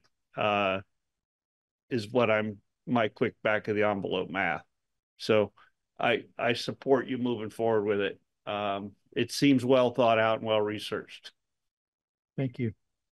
Um, anybody, any other members of the public who want to be heard either? Oh, please. Uh, Lisa Edson Neva, and I'm here supporting what George was saying a minute ago. Um, I have real concerns about this legislation or these rules. It's really an attack on our middle class because how many units do I have to own before I'm allowed to earn more money? So if you have an inn or you have the hotel, we all know that short-term rentals bring in a lot more money. How many units does someone have to own before they're allowed to bring in more money? The reason you're seeing so many of these units switch over to short-term housing is because people who live here can't afford to live here and are choosing that. Or people who live here are looking at it as a business opportunity. They have one unit, and then as they get to a point that they can purchase another unit, that they do. And I know that there are probably some of you here, because a lot of you know that I'm here for another topic on this on the agenda as well, but I came here for this one as well. For me, as I'm looking at carrying two mortgages, I need to add a second rental unit to my, my current home. So I'm looking at having two units. Realistically, there's a huge amount more money for me if I rent that short term. So I agree with some of the other things that are saying we're saying here. We should be incentivizing having homeowners rent long term rather than punishing them. Why are we punishing people that have two or three units and not allowing them to earn that same level of income that the hotels and the inns are allowed to earn? Those of us with Airbnbs or something like that, we're already paying the same taxes as the hotels are paying. We're already paying the same city taxes. Why are we being charged more because we only have one or two rooms to rent? Now we're talking about 88 total units, and I recognize that depending on the day, that may be more or less, but we're talking about a very small number. And as they've said, in the majority of those situations, it's households that are only renting one unit. This isn't going to impact that. So adding all of this bureaucracy and these costs to gain how many units and at what cost? To keep those families from being able to advance? I'm just disappointed that this is the direction that we're thinking about heading rather than just looking at ways to increase the amount of housing units available. Thanks. Thank you. Um, uh, Stan Brinkerhoff. Hi, Stan Brinkerhoff uh, from Montpelier. I, I'm a member of the Housing Committee, but I, I speak myself tonight. Um, I think, you know, Adrian, you raised an interesting point earlier, and I, I should have written it down. Um, but there's an interesting dynamic with interest rates where people are leaving their current houses and they can rent them out on Airbnb for more than the mortgage, right? With a with a 2.9 or a 2.7 percent APR, you can at this point move into a new house. It could be more expensive, it could be a cheaper house, and it's it is taking housing stock away from from Montpelier for the long term. Um, I had addressed this council group with an email early on with concerns. Um, I think that this group has done an immense amount of work, uh, Rebecca and, and, Emma and others, to try and uh, place this where it needs to be, which I, I think is to protect those who who are, you know, as, as the previous speaker said, using this for for income. That's the vast majority of the folks in Montpelier. This is is a ancillary income or allowing them to travel. Um, but we are seeing, we absolutely are seeing, and other communities in Vermont are seeing uh, you know, the purchase. And I won't use the word investor, right? But uh, purchasing another house and financing them both with an Airbnb or um, taking rental units off the market. I I posted the to Front Porch Forum earlier today, and a a mailman in the community said he has to move out of town because he he can't afford his rent. It's being converted to an Airbnb. A teacher reached out. You know, our community is being impacted by this, and you know, I'm the one that Rebecca mentioned earlier, saying I would probably put my units up to get around the grandfathering. Right, I, I see the, I see both sides of it. I I, I do, um, and I I think this is something that if we do, we we need to be careful of. And if Montpelier returns to a normal environment where there are five percent free rentals, the free market is, is is back in effect, and we can talk about Airbnbs. But with zero percent rentals, Airbnbs are, are absolutely contributing to the increase in rent prices. Um, they're taking units off the market, and and I don't think it's anyone in the room. I don't think it's a harmful thing in all cases, but or intentionally harmful. Um, but when there is no stock in Vermont and we're seeing people leave the community because they can't work here, I think measures need to be in place uh, as long as that you know, is happening. Thank you. Thanks, Stan. Helen. So I just wanna um double check one information. Uh, I think we, I think um, Councillor Hierl mentioned that state is planning to do the this registration mandatory or something, right? Does anyone remember that? Okay, so I just wanna check if um that information is accurate or There have been Okay. legislative proposals. I don't know if anything has been uh, adopted in the current uh, or just ended Okay, legislative it's session. not like a um certain or the state future plans, it's just uh, like a ideas or brainstorming at the state. level. That's what, that's what I think. Okay. Thank you. You're welcome. Sal, were you gonna say, yeah? Yeah. Um. I, I'm basically in, in favor of this type of ordinance, but I think, um, in, in the legal opinions that I've read, and I've read them both, there, there are two important points. One is the rolling twelve-year, twelve-month period. The, the Vermont statute that applies according to the, this, is- I'm, I'm not an attorney either. I read the opinion. The Vermont statute uses calendar year. And so the attorney was saying we should really conform to that, otherwise it could, it could be, it could be challenged.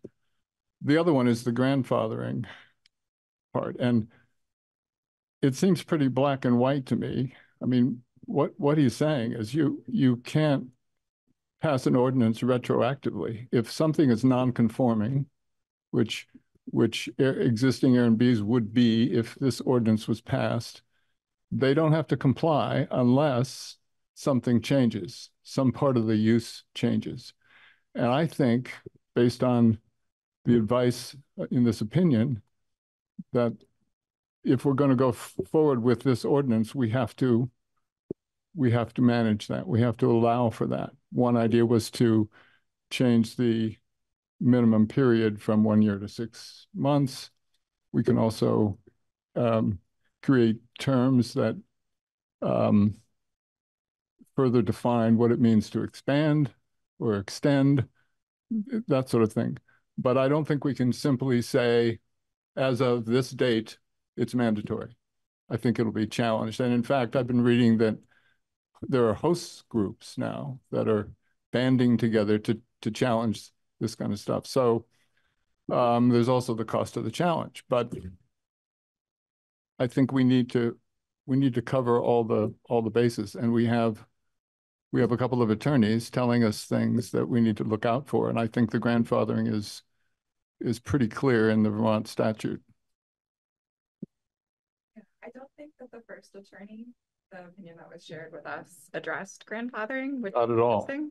Um, so I do think that that the city needs to reconcile the legal opinions that they've received and also probably share that information with the city's planning department since they're the experts on what the zoning ordinances are, because that second legal, the other legal opinion that that does address it talked about the specifics of how Montpelier did its charter and zoning um, compared to the state definitions. And so, so I think it makes sense that that the council may want to advise city staff to to take some of those next steps to see what the consensus legal recommendation is so that Montpelier can move forward. Clearly, other communities like Burlington and have these phase-in periods, so it's clearly possible, but yes, absolutely, the city needs to to follow the recommendations to make sure they can do that in a in a comprehensive. So you're saying that the ordinance that you or you modeled some of the other, or you reviewed some of the other ordinances, they they essentially have created a retroactive ordinance. Or they have a phase-in period, so But it's like still Burlington- retroactive. Um, If you're, if you're, if you're non-conforming, if you have an, an, uh, an STR now, Yep. you have X to number of comply. Months, I think that after Burlington X was month. nine months. So you have to register up by a certain date and then you have an additional, I think Burlington was like nine months or so Mm-hmm. to fulfill all reservations and then it, it needs to stop. Hmm, Um, interesting. and- Well, you know, attorneys like to argue with each other, so maybe. They do, and Burlington's charter may be different than ours, Yeah. their zoning may be different than ours, et cetera, but I think South Burlington also has a phase-in period, and my sense from us surveying is that many communities, I was very surprised by the idea of grandfathering all. Just with, and, and I haven't gone through every Yeah, yeah. single, single No, one I in realize community, that, but. sure. But I think that, yes, it would be a good idea to, to, to reconcile the legal opinions and understand what are the next steps um, to, to support ensuring that we move forward with a good plan. Tim, after, after Adrian, has got her- Adrian has her hand up. Uh, Adrian, uh, Can I just continue? Oh, yeah, yes. Um, so I, I, ag- I agree. that We, we ought to take that. The, the, uh, the other part of it is the, um, rental registry and, and the registry that you're talking about applies only to STRs. Um, I think it's a good idea for the city to have a, a rental registry of all rentals. I mean, we, we already have a lot of the information. We, we, we, you know, do an assessment of properties and so on, but I think we need to know where, where the rental properties are, how many people are there, how often it changes. I mean, there's just safety and public health issues. Um, but I would also like to know what it's going to cost. I mean, Josh was talking about platforms to do this, but um, I, I don't know what the platforms do. I, I believe the platform he's talking about is essentially what we would do as a volunteer committee for no cost, which is you look at the ad, you look, you look at Airbnb, you Which you have to do every day because. You don't have to do, it well, it depends on, you know, the last time we had talked, um, there were a couple counselors that, that said, you know, this doesn't have to be a day by day. It could be, you know, there's six Well, but people, what- they all what I'm- make one month. What I'm getting at is if you have a registry. Yeah. You're done, right? You know where they are. Well. If you so- require it. it- well, the, the, the enforcement is that you have the registry, that you Yeah. check against. Well, you have a, you have a check Yeah. sure. But I And think. Pretty the- simple. The, the, the cost in um, dollars and cents and effort is in establishing and maintaining the, the registry. And I, I would like to have a better idea of what that cost would be before I said, let's go ahead with. I mean, in addition to changes in language, before I said, let's go ahead with the ordinance, which I favor, but with those sort of caveats. Thanks. Adrian, then Tim. So as I just sit here, just listening to all this, you know, back and forth about the ordinance and bureaucracy and policies, like I would definitely regret not saying this, but I think, you know, the housing committee, um, you know, when I did talk to Rebecca about this in terms of, you know, the um the direction that the council, I don't I wasn't here on the council when when they were, you know, starting this process of a short-term rental ordinance but we're in a crisis and we need housing. And so I would love the housing committee to focus on creative ways to bring in housing rather than you know having ordinances having bureaucracy having more you know paperwork and registries. Um you know i think this is a good idea because i i also don't want a whole bunch of investors coming into montpelier to buy our houses and have rentals. Like i think that is the problem that you're trying to head off. But i think as the housing committee and i i would love to be you know corrected if i'm wrong but the housing committee you know i i think is there to help you know encourage housing in montpelier. And you know we do have land but i think there are creative out of the box ways to increase our housing in montpelier. And i think that's what needs to be the focus uh, moving forward um, for that committee instead of you know continuing to focus on different policies that we then have to manage um, in the city and and add to our bureaucratic processes. So um, that is just what i'm sitting here thinking about like scratching my head. Um, is this what we need to focus on right now? Um, is this a priority for the city?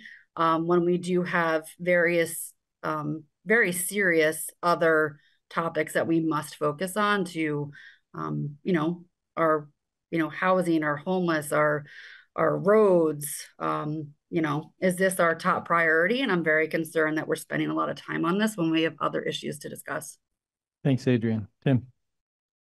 Yeah, um, I've been struggling with this ordinance since I first became a city council member on the housing committee and been listening. And my approach once I started was like what Adrian just said is I don't, I just didn't see the need for it. But the more I've listened, I realize it's an issue that's building. Um, I think Stephen Whitaker's wrong. I don't think investors are flocking to Montpelier to purchase properties right now to turn them into short-term rentals. I mean, I do this every day. There's only 100 sales a year, roughly.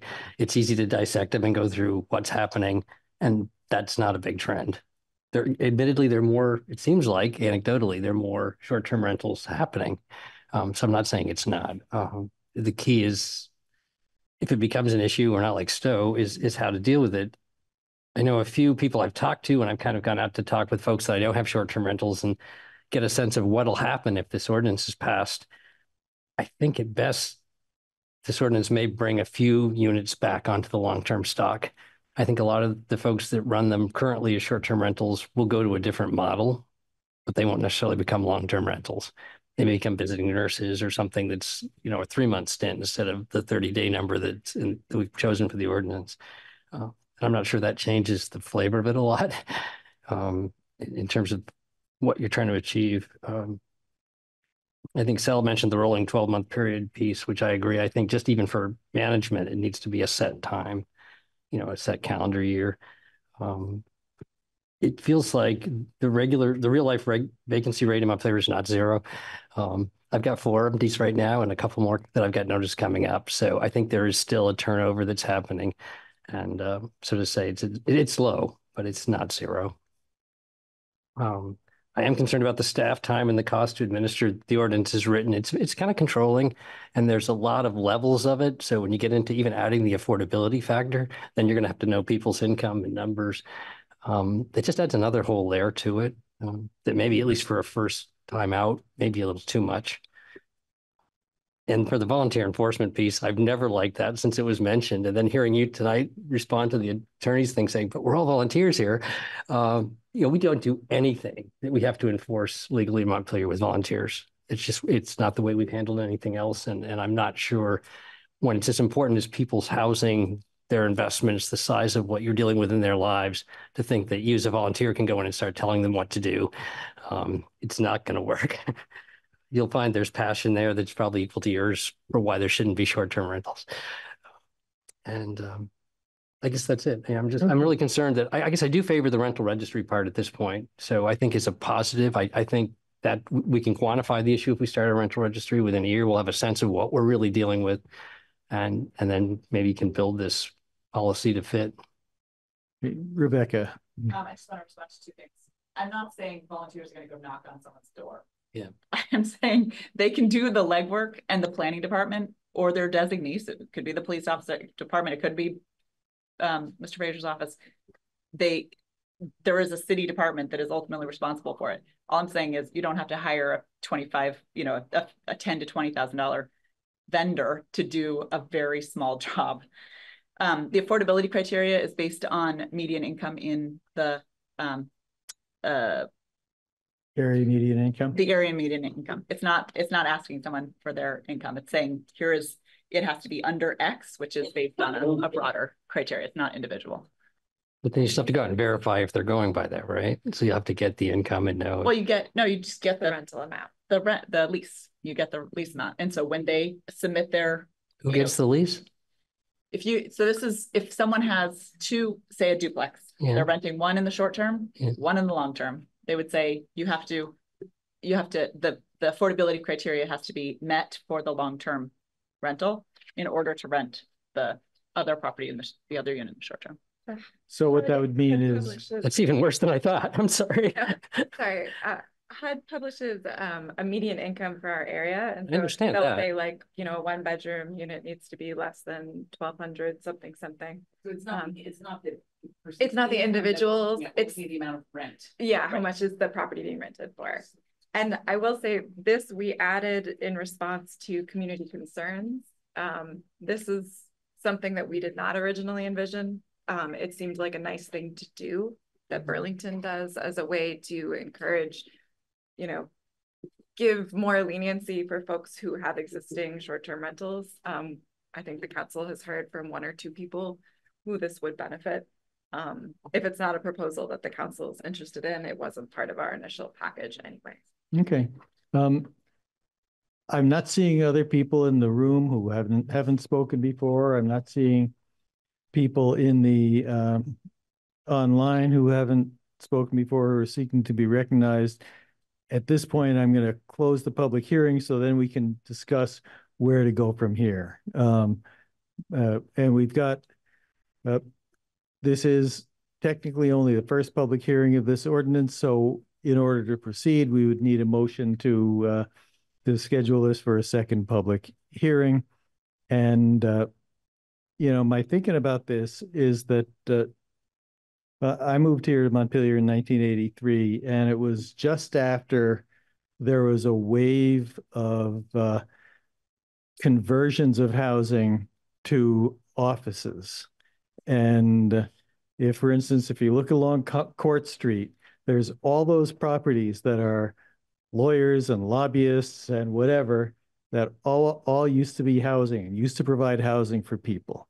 And uh, and the city didn't act to uh, to prevent that, and as a consequence, that that housing uh, was lost. That people could be living in now if they if we uh, taken action. At this point, it's not going to. This isn't the one solution, as Rebecca said. You know, we're not. Uh, you can't say that there's only one thing that's causing uh, housing uh, prices to go up. But and and it's probably not even going to create new housing at this point. But if it but if this can uh, slow down the loss of uh, long-term rental units, that that's essentially what we're trying to do here. That's that's the proposal, and and so the the so the question is: there a motion to uh, set this for a second public hearing? Or is that what you're going to say, Cary? You're going to do something else? Okay. Uh, so I, I'm very much in favor of this. Um, and I've put a lot of thought into this as part of the housing committee, had lots of conversations with people in the public, really, you know, kind of gone back and forth a lot. But um, but I'm very much in favor of this. And I think that this, I, we're not going to create a whole bunch of new housing, but we can head off something that is starting to happen, which is the loss of long-term permanent housing to the short-term rental market. So I grew up on Martha's Vineyard, which is a tourist place and short-term rentals. Most of the of the houses on Martha's Vineyard are short-term rentals or they're summer homes that people just live in for you know a couple weeks out of the year and they sit empty the rest of the time the if you think housing is bad here it is it is unbelievable i mean they, they don't have teachers they, they don't have doctors they don't have you know just people to work in the post office they don't have people to run the ferries so that people can go back and forth on the island because people just can't afford to live there there's just no housing available and it really is largely because they've been lost to short-term rentals. Now it's a totally different economy there. It's 100% based on tourism, which is different from Montpelier, but that's an extreme of what can happen and it really destroys a community. And I I look at the at the Airbnbs and just casually looking at them online in Montpelier, they really look like they're rooms in people's houses, they're uh, ADUs, you know, that's what's happening in Montpelier right now. But I think that we're starting to see that change, and that's what I'm worried about. Um, there, there is a building in my neighborhood, an apartment building that recently changed ownership, and I don't know what's happening in there for sure. But a lot of people who've moved out because the rents have gone up dramatically and have con- continued to go up. They didn't just initially go up; they keep going up. People who've lived there for years are moving out, and they're and they're telling us, their neighbors, we're moving out because they just keep jacking up the rent and it feels like they're trying to make us leave. And every day I see someone from the property management company with their official car pull up to the house, get out with a vacuum cleaner and mop and broom and go in and clean something and come out. They're not cleaning apartments that families are living in. You know, so I, I don't know if it's I don't know what's happening there, but it certainly could be that that is turning into short-term rentals and that's the kind of thing that I would like to stop if we possibly can. whether or not that's actually the case there. Now, the whole issue about people who are currently doing it, I think that is something we need to we need to sort out. Um, and the the opinion that we read recently had some suggestions about changes to our zoning that we might be able to use to kind of work this. But I but I do think that's something we have to we have to figure out. And I don't think that the ordinance as it's currently written is probably um, I mean, it probably doesn't fly quite the way it is. So we got to tend to that. Um, as far as the cost and the additional administrative burden, I, I think as part we got to take it on. We got to do it as part of what we have to do because this is this will have a devastating effect on the community if it's allowed to continue without any kind of check. So Thanks, Gary. Yeah. Oh, I wanted to answer, Adrian, you asked a question about, well, what is going on? Why is the housing committee uh, doing this? And I was on the housing committee when uh, when we first created it, and uh, Rebecca was chair. And what she laid out, you know, but well, but when you got onto the to the committee, one of the first things you said was that you would like us to start out by having doing the things that are manageable and achievable in the short term, knowing that housing development and a lot of other stuff is going to uh, be a longer term project project. And so I think this really is going back to one of the things the you know, committee started at the very beginning, which is that let's look at this short term thing that we can address while all the other things uh, are also being done. Tim. Follow that thought, Jack, because I just my first year or so participating and, and things change. And I think we need to be flexible with that. And I think maybe that was a direction. But as we look at what's coming out of it right now and the magnitude of the crisis in this community needing housing, um, this committee has worked so hard and people have put incredible efforts into this policy and also the housing trust fund piece we're going to hear about in a few minutes. I mean, the effort and the work is incredible and it's all well meaning, but neither of these projects are really going to create any new housing. And so I do think because the housing committee advised the city council and, and worked for us, I think it would be uh, in everyone's best interest at this point to ask for a focus on uh, the committee's efforts to create more new housing. Okay.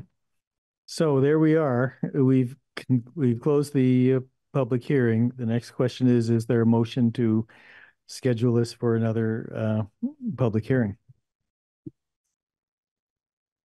What would be a reasonable time frame if, in fact, you went ahead and we resolved the legal issue and wanted to incorporate the language? How long would that take?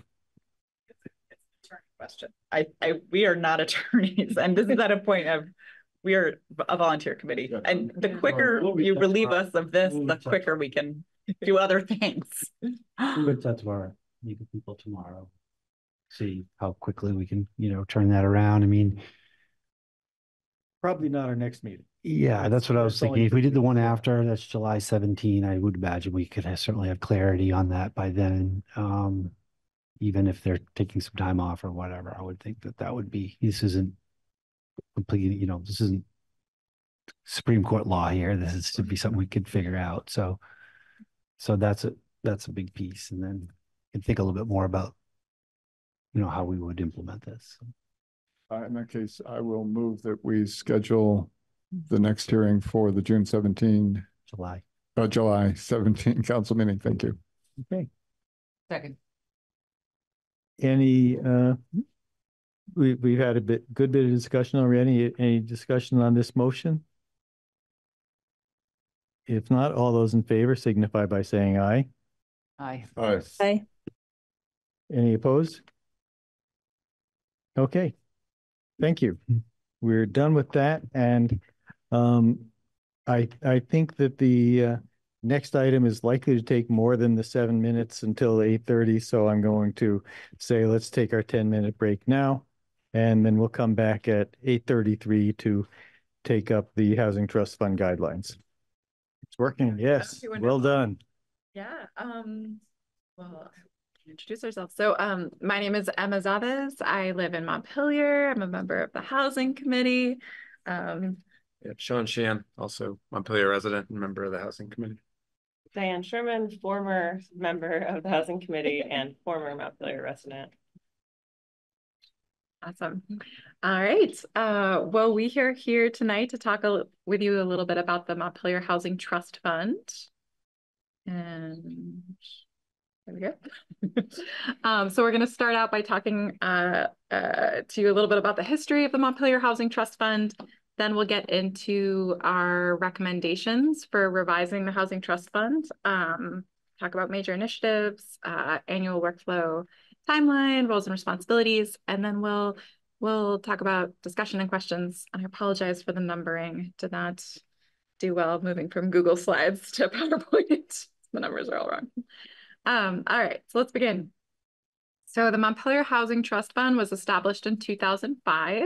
Um, there is an annual allocation as part of the fiscal year budget process. Those of you who are on city council during the budget setting time probably remember that. Um, originally, uh, in 2005, it was passed as one cent for housing, which meant one cent on the grand list. Um, since then, it's evolved into this sort of year yearly annual allocation process, um, which sometimes has tracked around the grand list um, and sometimes has gone up and down. Um, you'll see in the table, I included the last five or six years, um, the allocation amounts. Um, some of the original goals of the Housing Trust Fund were to increase the number of affordable dwelling units, um, attract and retain young families, and also to ensure adequate supply of workforce housing. Um, so historically, there have been two initiatives, main initiatives uh, for the Housing Trust Fund. The first is uh, grants for large affordable housing project uh, developments. And um, those amounts have been between 50,000 and 175,000. The way it has sort of worked out in practice is that the city typically gives a grant every two to three years um, to a project. Um, it's one of obviously many, many funding sources um, that all go into making a project happen. So um, I just listed the last three uh, projects that the city has supported from the trust fund and the amounts um, that we supported it with. Um, the other, um, so that that was really focused on sort of development of housing. The other initiative is the first time home buyer loans. so that's focused more on an individual subsidy um, affordability program. Um, that is a 0% loan. Um, it's due uh, if the, the home buyer eventually sells their home. So um, we've had some of those repaid, you know, in recent years, and other people will live in their homes forever. so we may or may not see them repaid in the near future. Um, I think most recently those loans have been in the amount, the ballpark of $10,000. Um, and I've just put some stats up there for just the last few years, how many loans we've given um, for that program. So changes.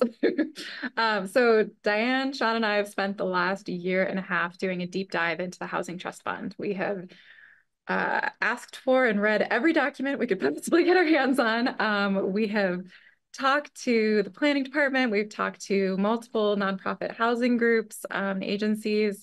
We have talked to the full housing committee and we've done our own research on initi initiatives. Um, and so we are uh, proposing some changes. Uh, we propose to clarify the purpose of the fund um, to be to construct and rehabilitate affordable housing units in Montpelier for ownership or rental and to make existing housing units more affordable to buyers. Uh, we are recommending that the city council allocate $250,000 annually to Housing Trust Fund. The guidelines as they are revised are written as such that you can you can always allocate more, but you can also allocate less in any given year and you don't have to update the guidelines to do that. You can, it's at your discretion each year, but our recommendation is 250,000. Um, we are recommending that uh, the Housing Trust Fund support three different initiatives. The first is continuing the major affordable housing project grants. We think that that's a really important part of developing new affordable housing um, in the community um, and should sort of be the top tier priority. Um, Diane will talk a little bit more about that in a moment. And um, we are recommending that we end the first time home buyer loan program. We are not really sure, nor is anyone else, how much that program is really moving the needle now that housing prices are so high. Um, ten thousand is like barely covering closing costs at this point. Um, so after much research, um, we are recommending that when there is um, more money after after doing a large grant for the affordable housing projects, that if there is additional money in the fund, that that go towards um, the support of two existing local programs um, that are already doing great work in our communities um, and really leveraging that great work and doing more of it. Um, and so we'll talk a little bit more about each of those programs um, in a moment. And I'm going to pass it over to Diane to talk about a few things. So the other changes we made holistically were principally to help with clarity and to really flesh out some of the requirements. Um, so in particular, you know, we we had a when we went through the current guidelines, they hadn't been looked at since 2018. So they've been in place for a long time. And we wanted to add more clarity in terms of what are the actual criteria for each project? What are the documents that have to be completed? We added require we added clarity around application and review processes, which will help both applicants and people who are reviewing it because they'll have a sense of applicants will have a sense, is my project going to be eligible? And reviewers will have an easier time knowing what they're actually supposed to be considering when they look at applications, which is something we really struggled with having gotten an application, which never, we never got a complete application, but got a preliminary application, not knowing like what criteria we're supposed to apply. Um, we also added a clear identification of the responsibilities for the housing committee, the planning department, and others, and we created accountability for all the parties involved, um, including, you know, making sure that the people who receive the funds will be providing reports to us, making sure that the funding partners, principally it's going to be Downstreet for the two programs Emma talked about that are supplemental to the Affordable Housing Project grants, um, you know, establishing con concrete contracts with them and making sure we have formal grant and loan agreements. Um, we have some, you know, the city has some examples from past projects of those and tracking the HTF use and reporting that to city council on an annual regular basis. Um, so that was one of the things we wanted to do. And then I'll talk a little bit about the first two programs. So you've heard that the Affordable Housing Project Grants is a longstanding program. So here we really did add focus on adding clarity.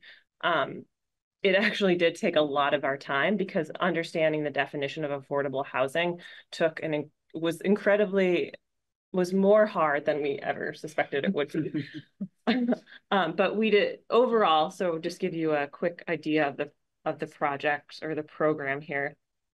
We are um, indicating in the guidelines that you should reserve $150,000 every year toward these toward these projects, like Emma said, focusing on the, the money going to creation of new housing units or the rehabilitation of housing units that are off market, basically.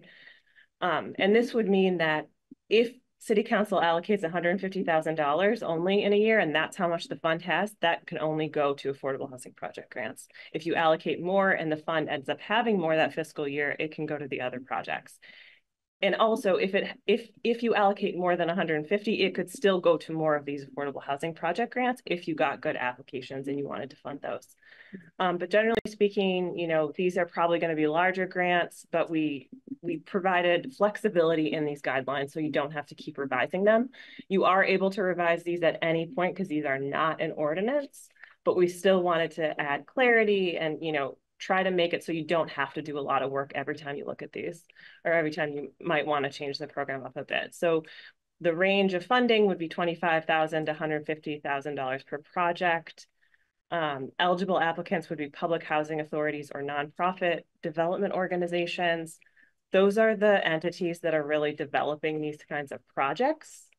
Um, the housing committee considered adding private developers, but we ultimately decided that doing so would just create such an impossible burden for the city and for the housing committee that at this point it didn't make sense because public housing authorities and nonprofits are the ones who are receiving similar funds from other sources already subject to all of these requirements. And so the city review of these is leveraged by the fact that that's already happening in mm-hmm. other ways. So it just re it reduces the workload and the administrative burden. Um, so in general, you know, this would again be for the construction of new or rehabilitation of existing housing units that will be affordable for ownership and rental the definition of ownership and rental on an affordable basis is, is in the guidelines. Generally speaking, affordability is usually tied to 30% of your income. Whatever your income is, that's affordable. But in the guidelines, it establishes that that sale price, that rental price is based on, um, for the sale price, it's based on whatever is affordable to someone who's at 80% of the county median income. Um, and then there's an affordability covenant that that created or rehabilitated unit be affordable for a minimum of 15 years. So it's a snapshot of that program. And then going on to the ADU program, um, some of you may be familiar with the VHIP program that's available out there currently that's been available for at least a year, maybe two, um, for people in across the state who want to develop ADUs. So as I mentioned before, you know, we this this program would only be available if there's extra money in the fund beyond $150,000 that fiscal year. Downstreet is the entity that administers VHIP in our area. And so to sort of leverage the program that's already there, we wanted to take advantage of basically everything that exists in VHIP with the most, with the smallest amount of tweaks possible that we thought um, would be positive. And so the one change we made was that VHIP currently offers a five-year, it's a it's a grant for it's a grant, and then you have a five-year affordability requirement where you have to rent the unit at HUD fair market value, which is its own defined term. Um, or you can get a 10-year forgivable loan and you have to maintain affordability for 10 years the city, we talked to the planning department and Josh, you know, can certainly speak up and correct us if we get this wrong, but um, housing committee and the planning department, I believe, were interested in doing this as a zero interest loan that's due upon sale so that it does have some opportunity to have money flow back in to the fund. Um, the eligibility criteria would be basically all the same that's already currently in VHIP and Downstreet would do most of the work. We have to create some of the documents, but um, you know, most of the work would be at, at you know done through Downstreet and working with them. Thanks.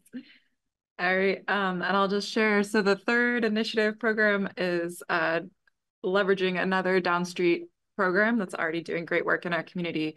That's the Shared Equity Down Payment Assistance Grants. Um, so, and funding, of course, for this program would be contingent on there being more than the $150,000 in the fund. So after those um, large affordable housing grant programs. Um, so uh, if there was funding left over um, in the Housing Trust Fund um, and there was an eligible applicant uh, to Downstreet for this program and Downstreet had run out of the regional state funding that they're given every year, um, then at that time uh, we could fund an additional shared equity uh, home in Montpelier. Um, and those amounts are 20 to 80,000 per project. I think most recently 60 to 80,000. And I'll use the next slide to describe what exactly is this program. um, so this program essentially eliminates or greatly reduces the need to have a down payment um, to purchase a home. So it essentially gives a uh, grant for that 60 to 80,000 to bring down um, the cost of the home to cover that down payment area for an individual. Um, there is um, an income eligibility criteria. You have to, uh, your household income needs to be 120% of the HUD median area income or less. Um, you apply through Downstreet. I believe Downstreet's currently receiving funding for two from the Vermont Housing Finance Agency per year in its region. We are just one town of many in the region. Um, and so they run out of funding very quickly uh, for this program. And so if they did run out of program uh, program funding for the region and there was an individual interested in Montpelier, they could potentially go through this um, to get the funding to do a home here. Um, the way that it works is the home goes into the Downstreet portfolio. Um, so an individual could purchase the home with this shared equity uh, grant, they could live in it forever. That would be totally fine. Um, they could also sell it if they want to. And if they sell it, um, the sale goes back through Downstreet to the next income eligible family. Um, the appreciation on the house, 25% will go to the seller. The other 75% um, goes into uh, replenishing sort of the administration of the program for Downstreet, and then the rest gets plowed into further grants for this property. So the grant amount over time is growing. Um, so the price of the house is not static, it's not getting frozen at the time it comes into the program, but it is always consistently much more affordable than it would be on the regular market. Um, so it's a really effective program. It's a national model that was actually, I think, pioneered by the Champlain Housing Trust. And they did a large report on it there. And I think the average tenure for living in a house was about seven and a half years across the, the spectrum of their houses. So it's a really nice affordability opportunity that recycles to more and more families and helps them build equity and then go on and, and purchase a home on their own and frees up the opportunity for more people in the community. Um, so with that, oh, I'll do one more slide. then I'll turn it over to Sean. Um, just, I think we've already outlined this, but just to say it again, um, recommending that the first 150,000 be reserved each year for those large affordable housing project grants. That's probably your biggest hitter where you're going to develop the most units.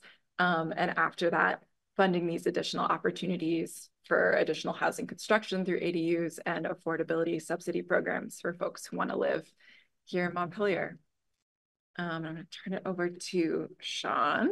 Thanks. And then on the, the annual timeline, I'm not going to read all these bullets here. You can, can look at them, but I think the high level points are we tried to try to lay out the annual cycle in line with your budget development process. So being queued off when the city budget's approved by the voters. If this were to go into effect now, then that notice of available funding would go out, you know, right at the start of of July with the deadlines for applications to be able to come in in August and then flowing through the review of them so that by the time you're developing the budget at the end of at the end of the the calendar year um, you'd have a sense of of where grants were were going out the the door was the main piece.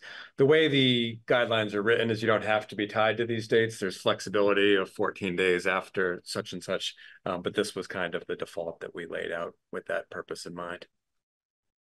This one. And then um, again, won't read these either, but we did articulate what the roles and responsibilities would be for the for the city council, for the city manager, designee, for the planning department, and the the housing committee, all having a role to play in in keeping um, these these projects grants rolling and going to the most effective uh, purposes possible.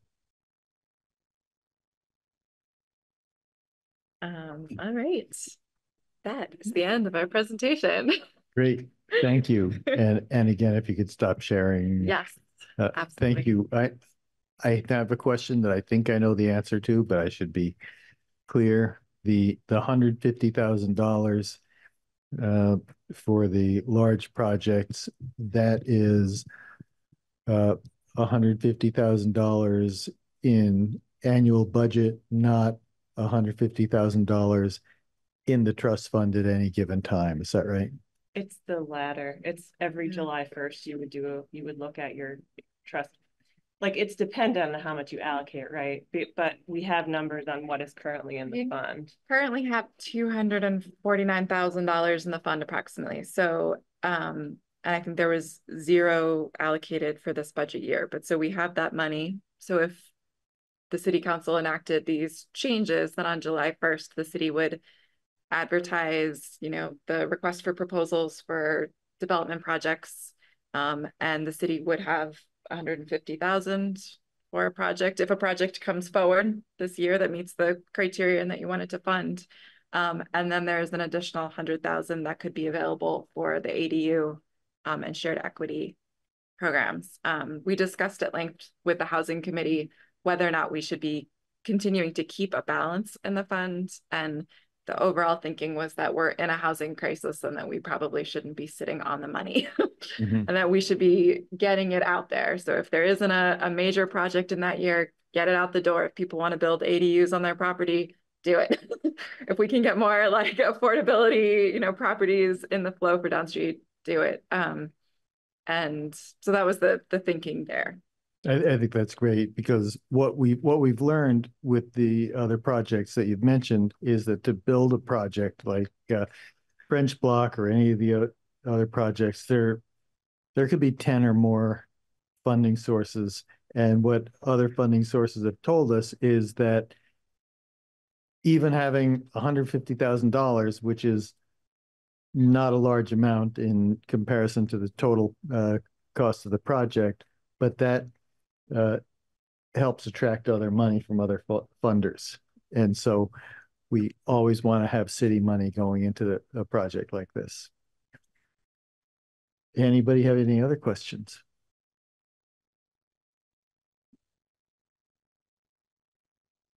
Okay. Is there a motion to approve the uh, new, oh, Steve? Yeah, I'd like to make a comment, and you've heard it before, uh, especially when you're channeling money to nonprofits, you're outsourcing a government function to a nonprofit like Downstreet. I saw a reference to Good Sam. We need to maintain, we need to put contractual requirements that provide some level of transparency similar to public records law.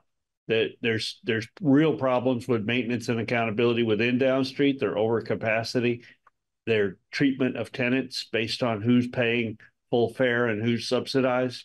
And those issues you don't uncover unless you have some public records accountability. So here's a place where you're talking about giving money to Downstreet, and we need transparency into those programs. So now is the time to do it because you're remodeling the the program. So I'd say postpone a vote on this and have them come back with some proposals to ad- address that. Okay, thank you. Did you read this, Stephen? Did you read the proposal?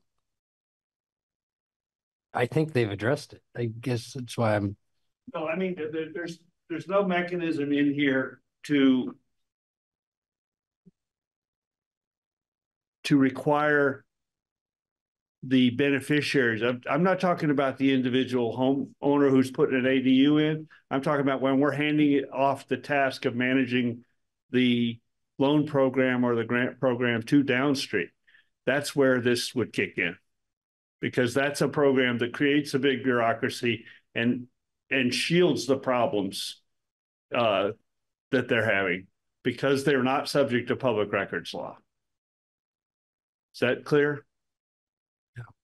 Yeah, I'll just say that we we have tried to to really focus on accountability in the work that we did with the revisions um, and have some clear requirements for the planning department and the city in terms of creating very clear contracts um, that are accessible um, with the contracted entities, which would likely be deep Downstreet. Yeah, I, I, hope we've addressed that or we've thought a lot about it. But I think Yeah. so. point, good, good point. But Downstreet is not subject to public records law. But it still needs more, we, yeah, it's all right. It's in here to my satisfaction. So I would like to move that we approve the guidelines for the Montpelier Housing Trust Fund and thank the efforts of the committee. Uh, It's an incredible effort and very grateful for your year and a half's work on this. I'll second. Any further discussion? Yeah, Mayor Uh, I, I too would like, like to commend you for the amount of work that went into this. I mean, the, the two thousand eighteen uh, guidelines were three pages. We now have thirteen pages, so we did clarify and add detail. Um, it would have helped me if I had a summary of what you changed, because you changed the approach to some things, you know, you sort of reversed the way things were treated um, in certain places. I, I managed to do it by taking both documents and doing a word compare, you know, and I got to see all the changes, but just for future reference, to go from three pages to thirteen, there was a lot of new, you know, a lot of new stuff, and I didn't know what what had been changed, so it would have been helpful, but um, we I- probably should have put in you a did a, cover letter or given you the PowerPoint earlier. you did a pretty, pretty thorough job, so thank you for that.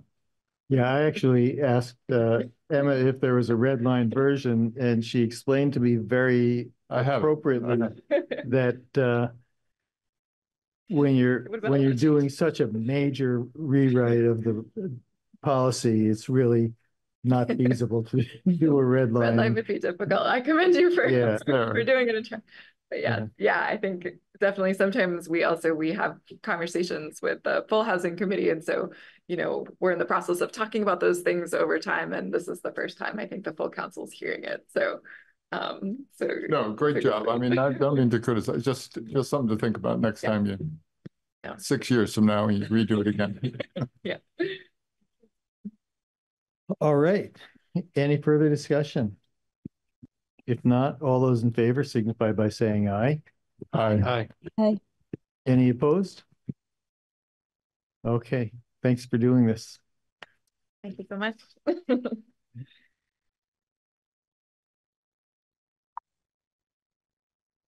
All right, we're up to item twelve, budget adjustment, continued discussion.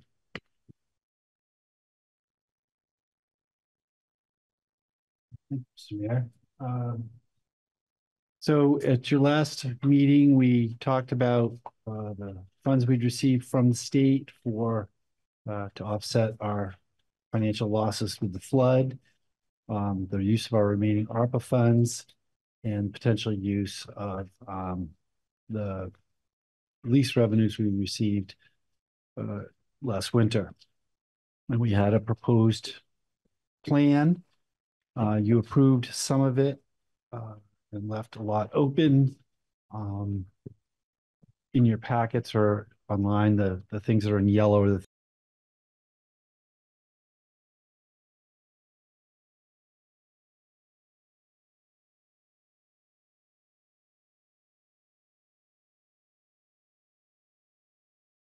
I lost audio. Can you all hear me?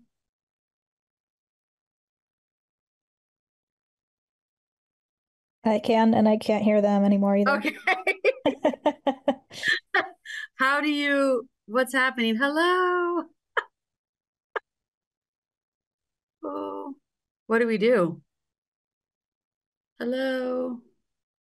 Hello? Oh, I can't hear you. I can't hear you.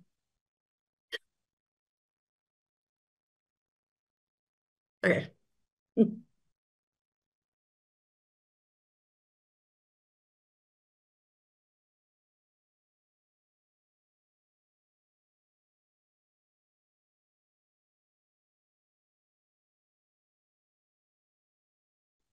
I still can't hear. Can you? Oh my gosh, this is so weird. No, I don't know what's going on. Can they hear us?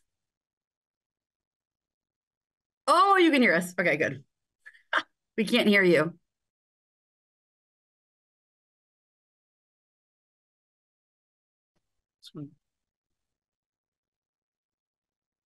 This one needs to be the host. We can just plug this into it. Um, I should be able to do it, host it remotely like I was before. Yeah, is this Okay. one the host? This one's the host, I think, right now. You gonna leave and come back? You try that? Yeah. Okay.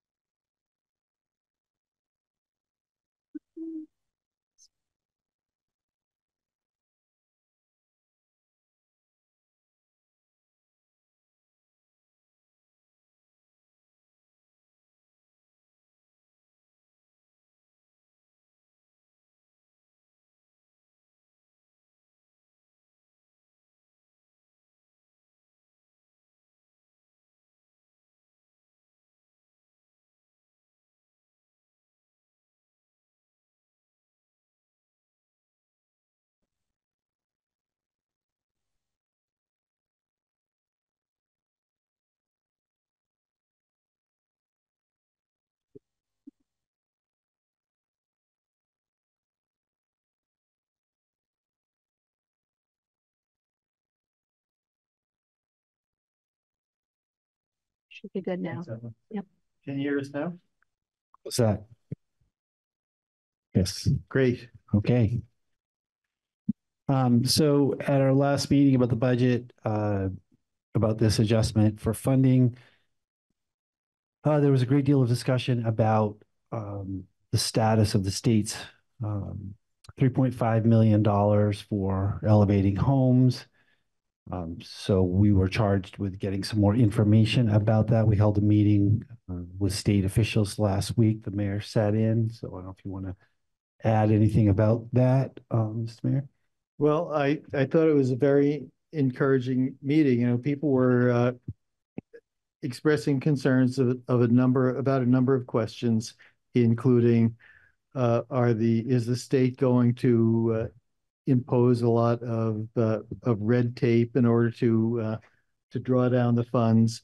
And are we going to be uh, having conversations with these guys only to have them uh, come back with the requirements from the higher ups who are uh, who are going to make it worse than we anticipate it's going to be, and uh,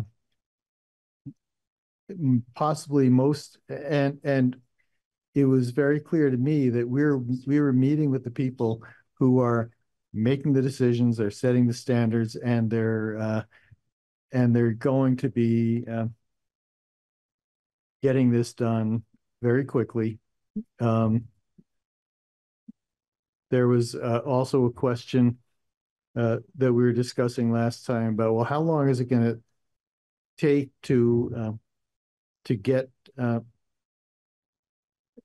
get co elevation contractors and could we accelerate that process if we had uh, more of our money uh, to invest in that process? And what we were told was that uh, there really doesn't seem to be any uh, good evidence to uh, to demonstrate that having uh, that throwing more money at that is going to enable the attract uh, elevation contractors who aren't already ready to go.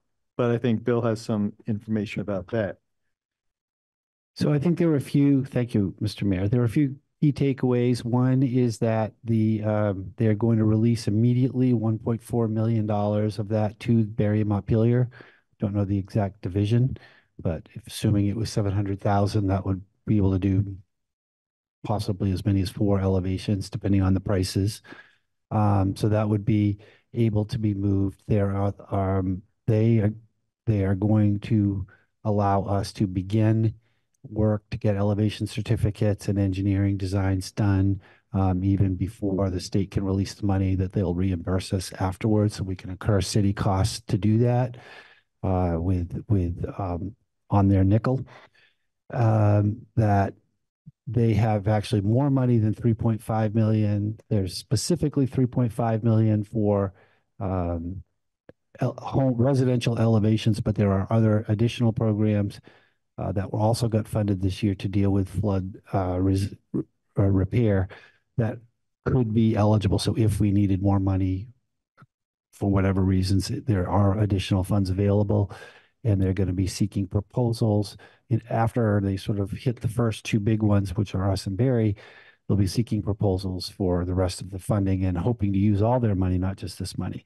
Uh, so we laid out plans where we'd like to see uh, basically the work done in two pods. So one group of work on Lower State Street, where we do all the homes together and ideally accelerate the build out of Ed Haggett's house the buyout, not the build out, the buyout. Um, so that that house could be purchased and then that site could be used as the staging area for the rest of the projects to be coordinated and then a similar effort at Elm Street. So that's what we proposed to them. We also talked to them about the possibility of using some of these funny fundings to accelerate buyouts. Um, and they said they were also considering that. Um, one of the positives of this is if we were to use city or combination of state monies as opposed to FEMA money is, Ed, do you mind if I use your home as an example? No, you don't mind? Okay, yeah, okay. So for, say, for example, we were able to purchase Ed's home and he gets his buyout and gets his fair market value and leaves. If FEMA does that, first of all, it's going to take longer, but also it has to then be raised and the property can't be used for anything else ever. If the city or state were to buy it, we could take it down, use it to help stage, and then maybe work with a downstreet or someone to put in a properly constructed, elevated you know, multifamily, you know, five or six units there. So it could be put back into productive use, but protected by, you know, elevated. So state understands that that would be a way to have more housing uh, that could happen. So we are trying to figure that out. But that is that's a theory at this point that is a potential um, to speed that up. Uh, I'm trying to take a just lost my notes here. Um, so yeah, so that's basically so we will be beginning the elevations. Uh, so the next thing that's happened, we've sent them a list of the properties we expected to work on. We expect to get approval of that immediate turnaround. Once we do that, then the property owners would agree to that and we can get all that done. Uh, and then start looking for contractors. We've already started looking and have identified uh, contractors that are available in the area, could actually do work this summer or fall, uh, at least one set of the work. Um, so we are pushing to move on that. Um, so that's where that is at. Um, those are the options. I mean, there's so again, I'm, I'm I know I'm probably repeating myself. There will be the immediate dis dispersal of funds somehow allocated between Montpelier and Barre. Then a process where we can submit for additional projects and additional funding along with other communities in the state. But it's not limited to just 3.5 million. They, and their what their goal is is to take because some of the other projects have different eligibility, they can try to match the, the proposals to the, the funding. Ours are pretty straightforward. It's residential elevations, which is what we asked for the money for. So ours would most likely come from these, but that's what they told us. Um, and then I asked for what I could say today in public, and I was told that I could say they would be releasing the 1.4 million to Barre and Montpelier. Um, to so that's what I have to report from that meeting. Thanks, Bill. Um, and again, the mayor was there. If he, you heard anything different, please. As it happened, we were at the same meeting and we heard the same stuff, and I don't have anything to contradict what you said. I think, yeah, I think the the meeting went quite well, and uh, as I said, I I was encouraged uh, by what I heard. Um, now we're sharing the, uh, I think we're sharing the funding uh, pool table. And for for people who want to uh, who are following along at home or who want to understand this more um, in the budget in the section titled the budget adjustment act we have uh, an allocation of uh, what is it, three hundred forty-nine thousand dollars for general fund and well, we, right. We would start with the sources of funds. Okay. So there were three sources of funds that we were looking at for this. One was uh, our there are remaining ARPA funds, which was just under seven hundred and forty thousand dollars, which we need to get obligated. The second was the state's budget adjustment money that they gave to us as a revenue basically to recognize our lost revenues. Uh, that was $825,000. And the third was the um, lease revenue that we received from FEMA of 514,000. Um, so those are the three sources of funds we were looking at. At the last meeting, you approved the use of some, um, and then and then we've had a couple of, you know, we've had some additional information come in and change, and then even have more suggestions for things that you can take off the list and add to the list or whatever um, tonight. And we have a memo from you. Yeah, but I can, I also will go through it again. I don't want, just, so everyone. Okay. Yeah.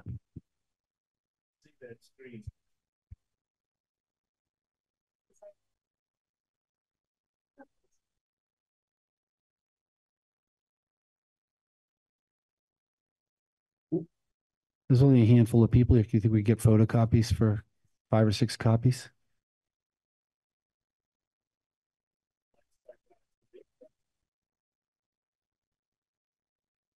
By phone? Right, let's see how it goes. It'd be any less visible. Right, yeah, because it, it, it's not just the size, it's also, it's kind of a light Yeah, color against the white backgrounds. So, all right, so we'll get uh, photocopies of all that. In the meantime, um, and it is on the screens of people at home, and we have them here. Yeah, it's actually easier to read on the computer screen than on that screen. So I just had a couple of notes I sent out to you. I'll just say this so everyone can hear it. Um, on this list is a door lock system for the city hall. You actually had already approved that uh, expenditure at a earlier meeting. Um, but it wasn't in the list of things that we approved last time. so probably good if we paid it. Um, the fire truck, we had, uh, we have our insurance money and we had put fifty thousand in capital reserve uh, for the replacement truck for one that burned. We'd popped another fifty thousand dollars here um, as a hedge in case uh, we needed it. We don't think we will need it. So that is fifty thousand dollars that could be reallocated uh, to other purposes if you wished. Uh, the fence for forty thousand dollars. Um, we understand that there's a lot of questions about the fence. We're not sold ourselves. Um, we were going to talk to the homelessness task force, but probably in the in the realm of priorities that could be reallocated elsewhere. People had raised the issue about CityBot and had some questions. Um, this was really proposed in response to sort of concerns we've heard that it's hard to search our website. Um, it is a proven platform on other city websites. I know we we got a demo from us that wasn't a complete version, but nonetheless, it's not the highest priority that we have. Um, we could we could certainly reallocate that. Um, and then so that those three together are just a little over a hundred thousand dollars. Uh, then we have the sectional plow blades for fifty thousand. We do need those. There's a kind of rubber blades, and they they're actually very helpful because they help. They, we can reduce a lot of salt use, so we save money. Um, but the school street project, and you see at the the things that already were funded, um, were largely to get that that school street project completed. We just opened the bids, and uh, they did come in high. So we would like, if there if there were an approval, the ability to use some up to all, but of this money for the school street project. But if not, what we don't use, we can use for plow blades. Um, and then just in terms of, you know, how much money there is to move around, there was, if you look at the initial proposal at the bottom, there was sixty-one thousand unallocated. And then um, there was, again, just this quote that we got from Doug Farnham today from the state that we can, that we will be getting at least our share of one point four million between Barre and Montpelier and additional funding to come. And then lastly, there had been some suggestions put out by council members not obviously the full council, uh, that totaled about two hundred and eight thousand. So there'd be about hundred and sixty-one thousand that could be reallocated, so that we'd still, if we funded everything on the council list, we'd still have to find forty-seven thousand dollars. So I think that's the quick summary of where we are at. Okay. I have a question about the ARPA funding. Um, what I remember when I started on the council, it was it had happened before I started, but that a certain amount, 400 and some thousand dollars, had been set aside from the ARPA for homelessness and for addressing homelessness in some way. Um, I think it, we used some of it, like maybe 15,000, 10 to 15,000 to pay consultants to do a study.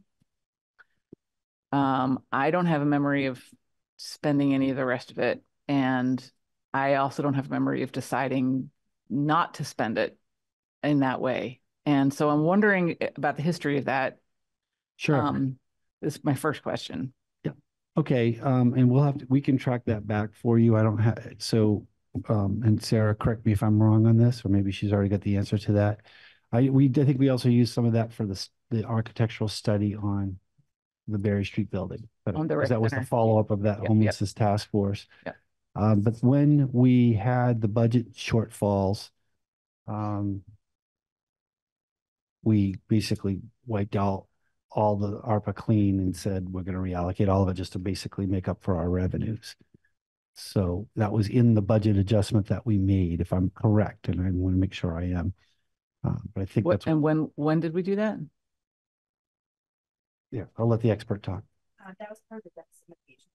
Mhm. Um, so we basically wiped all of that funding, um, with the exception of the three hundred thousand that was allocated towards the rec center grant match.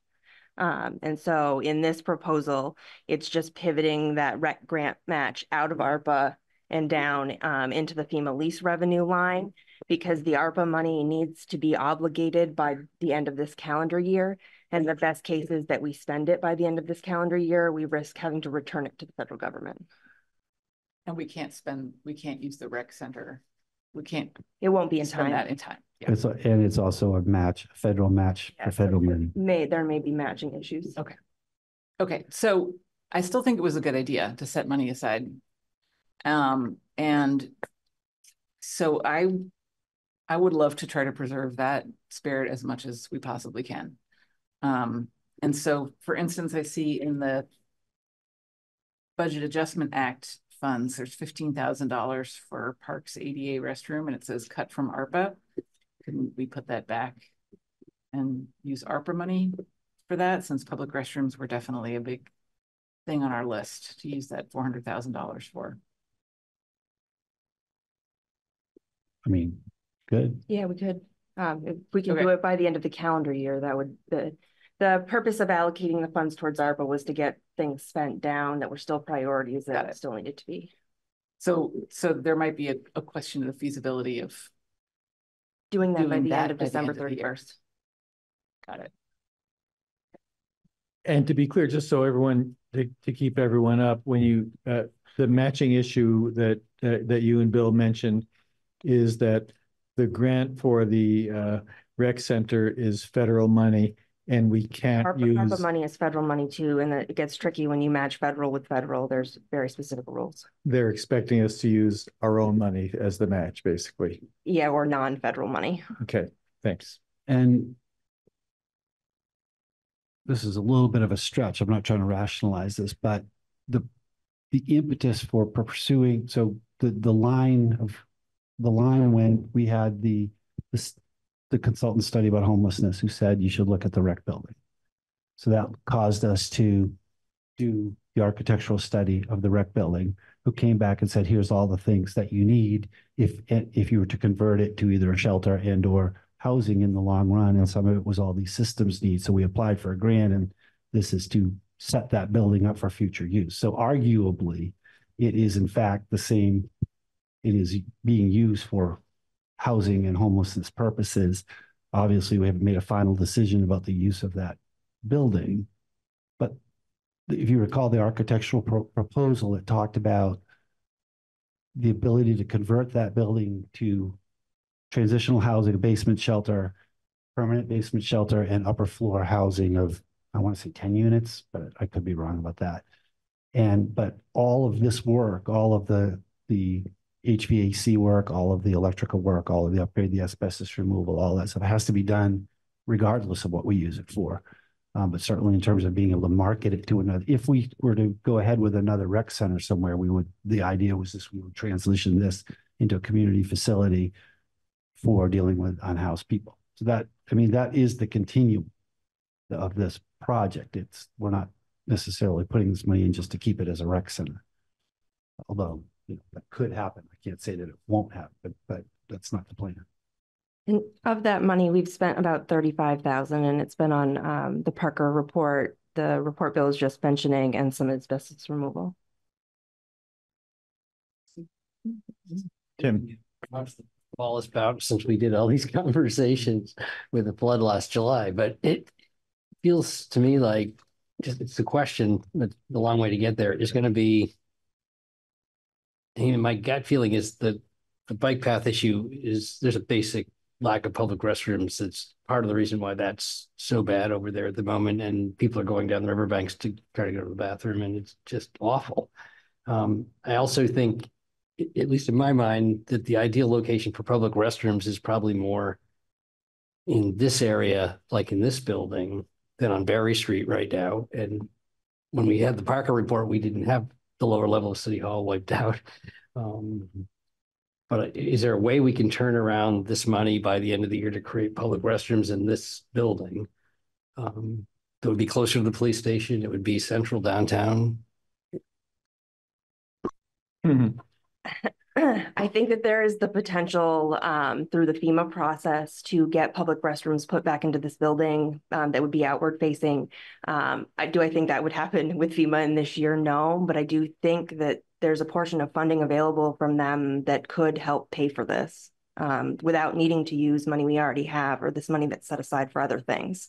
Um, so that, you know, when, as we work on this building rebuild, they you know, have to make us whole to codes and standards. And part of that is we had ADA accessible restrooms in the basement and we no longer have that. Um, so as part of our recovery, mm -hmm. we should be able to work restrooms of some kind that are public facing into and that. We've, we've actually insisted on that in any of the designs that it be actually a more accessible public restroom. Uh, and we had talked about whether I, one of the versions where they talked about expanding in the back would have one. We've even talked about where the planning office used to be, there's an external door and cementing that in. So even if we got, even if the rest of the basement got filled, that could be have an accessible ramp or something lift or something is going in and then have public bathrooms there. But even if they filled with water, they could just be pumped out and, you know, have metal facilities the, you know, so we're, we've asked them to sort of cost that out and that may or may not be FEMA eligible. So if it's not, that could be, you know, something we would do on our own. But those are, that's what we've been pushing for. Because I agree with you that this location is better than that other location. Yeah, Adrian. Yes, I hope you all can hear me. I think my internet at the hotel is getting a little funky. Oh, we hear you. Okay, good. Good, because you're all freezing up on my end. So I just want to make sure I come through um loud and clear. So I was looking at the budget and I just want to go through some I I think I mean I, I put the budget into an Excel spreadsheet and move stuff around. So um and so I'm just going to go through this just to to see if what if this makes sense. I can't share my screen, I don't think, but hopefully you all can follow me. So for the pavement, so in all the yellow, Adrian, yeah, we've we've just been told you can share. Your oh, good. Oh, that will be so much better. okay, good. Let me just see if I can do this. Okay. Oh, that'll make life so much easier. Okay. So I was just kind of doing some quick cut and pasting onto my Excel spreadsheets because that does automatic math for me, and I, I'm not going to do math at this hour of the night. So um, we have the yellows. I didn't put the um, descriptions over here, but this was the Barre Recovery, School Street pipe lining, School Street sidewalks, the paving, and the meadow structure. So those were all already approved. So those were in yellow. Then we have the pavement conditions, which was $25,000 to expand work to include sidewalks, the fire gear, which was $25,000, the locks, which we've already approved, I don't know. I moved City Bot out of here. I mean, we can definitely have this up for discussion, but I just moved it out just to see what it would look like. Um, we have the forty thousand dollars, and I put restrooms. Maybe we can kind of move that or re, um, you know, allocate that kind of based on our discussion. The police vests twenty five thousand dollars, blades fifty thousand dollars, air bottles twenty thousand. Um, Lauren's going to talk about a potential proposal that she sent the council for allocating $100,000 to the Montpelier Commission for Recovery for flood projects that they're going to propose. So I threw that in there. So that came out to $823,500. Then we had the FEMA, which was 395, 215, 150, $15,000. And I put, you know, can we maybe move this down you know, the $40,000 here. So it's $55,000 to look at restrooms, even possible showers, temporary, um, you know, something that we can just kind of, you know, save, you know, both our police department and folks from falling down the bank because that's the terrible situation. Um, I moved the fire engine over because we said we didn't need to do that. So that brings us to $775,000. Then we have the rec center, 300, CCR development grant 150, so that's 450. And so that leaves us with I don't I we can definitely double check this math, but if we kind of move stuff out and like reallocate some of these um, items, I think that still leaves us with twenty six thousand six hundred and fifty five dollars as a, a a plus to kind of move around and play with. Um, did I get that math right? I mean, the, uh, the ARPA money, we only have seven hundred and some thousand dollars of ARPA money, so we can't allocate eight hundred and twenty-three thousand five hundred from ARPA. So that the total was seven thirty-nine, is that what it was? Seven thirty-nine, right? Yeah, seven thirty. Yeah. Okay, thank you. All right, so then we're. And this is, and this is very minor. Um, it- it doesn't change your math at all, but the engineering services one fifty was already approved, so that should actually be in yellow. Which one was, oh, this one, okay. Okay. All right, so we're still, then we're like almost a hundred thousand dollars over. All right. I didn't realize the level, the, um, that was the max for ARPA. Oh, or maybe it was seven thirty-six. Seven thirty-nine. Uh, the ARPA money left is seven thirty-six. There's some round, give or take rounding. Oh. Okay. Okay. All right, so we'll have to, so anyway, Lauren has her hand up. I'm gonna stop sharing. Thanks, Adrian. And Lauren? Hey, thanks, and apologies. I'm not feeling well, so sorry if I'm not very coherent. Um, and I think John Copans might be in the room with you all, um, the executive He is. director of the commission. So I'm hoping he might have a more coherent um, explanation. But I did email you all, um, but wanted to share for uh, the public's benefit. Um, so the Commission for Recovery and Resilience uh, met the other night and we're thinking about uh, these funding sources and um, we're requesting that the city set aside $100,000 for projects that are being developed by the commission. Um, as folks who might have seen the recent public forum, we are at the stage where we've um, have a list of priority projects. Um, these again were, you know, ideas and that were developed from the community input from public forums. And then the commission's been doing a lot of work to kind of vet and research and look for where we could make the biggest impact. So projects like implementing a downtown building survey, um, a River's Edge master plan, um, flood mitigation projects, and so on. And, you know, I know that in our strategic plan we're talking about shortly, we've identified that, you know, working on these types of projects is a priority. Um, so just putting aside, you know, this pot of money. So the request right now is not like this is going to a specific project, but let's designate it so that we can, so that the commission could come back and make a specific proposal for a specific project. So this would not be looking to just kind of fund the commission generically. It would be more set aside so there could be further council conversation around a specific project where um, city investment does make sense. And the commission is working really hard to look at, you know, all kinds of different funding sources and partnerships and all that. Um, but we anticipate that some city investment will be essential to moving these projects forward. So that's the that's the idea. And maybe John, um, I, I don't know the order you want to go, Jack, but hopefully he could have a chance to speak at some point and say it more coherently. Yeah, this would be the time. Why don't you come on up, John? Uh, thanks so much, uh, council, and thanks, Lauren. I, I mean, I actually think Lauren covered it pretty well. You know, Why don't you identify yourself? sorry. Uh, John Copans, uh, the executive director of the Montpelier Commission for Recovery and Resilience.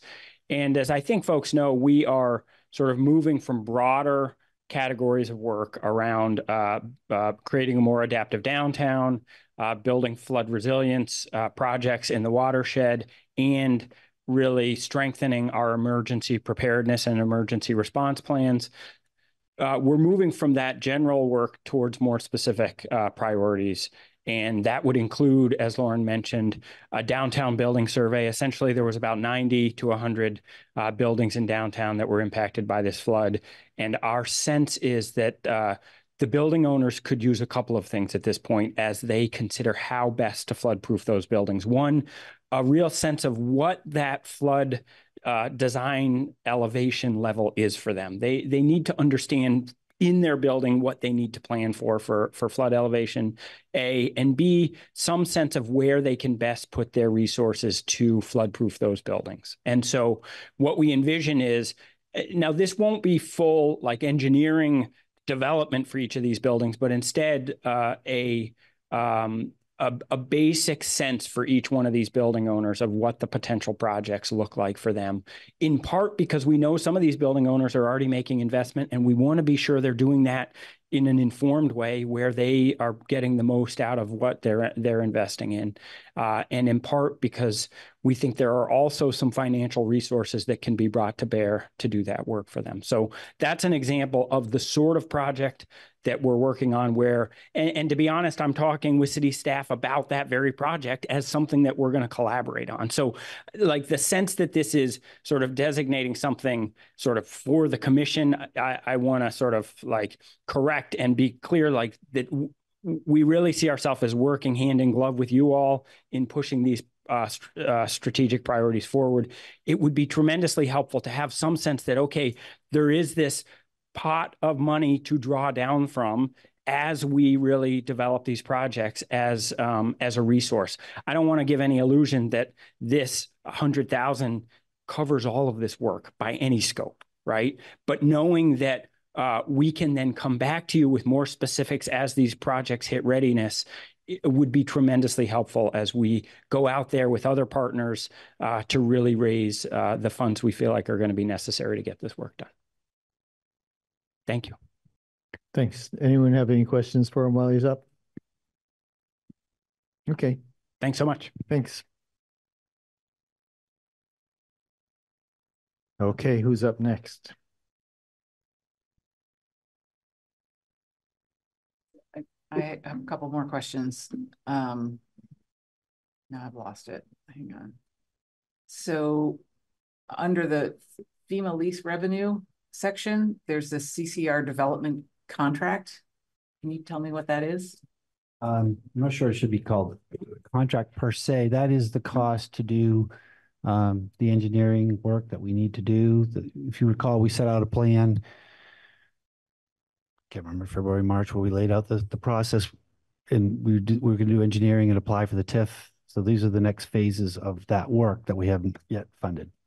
So uh, under the Budget Adjustment Act, we have engineering services. That for- is different. So that was, that is for Public Works to do projects because they've not been able to hire. They just coincidentally are the same amounts of money, but they're for two completely different things. It's for, I think there was a list of eight or 10 specific projects that we are getting outside engineering for of different types of expertise. So, um, and because we have been unable to hire a staff person, council approved this money to move those projects along.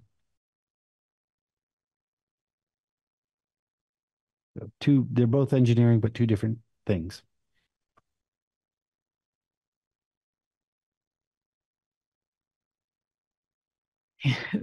Thank you. I, I'm I'm trying to look at all of these sources of funds and with their the sort of intention behind them in mind. Um, now the ARPA money, we're so far away from COVID, addressing COVID fallout that it's kind of hard to do that. But um, one of the things about ARPA is it's not supposed to be for ongoing expenses, right? It's kind of one-time stuff. So I would like to try to preserve that. The Budget Adjustment Act money um, was given to us by the legislature to try to address shortfalls that came about because of the flood. So anything that addresses that. Um, so I'm so I don't yeah.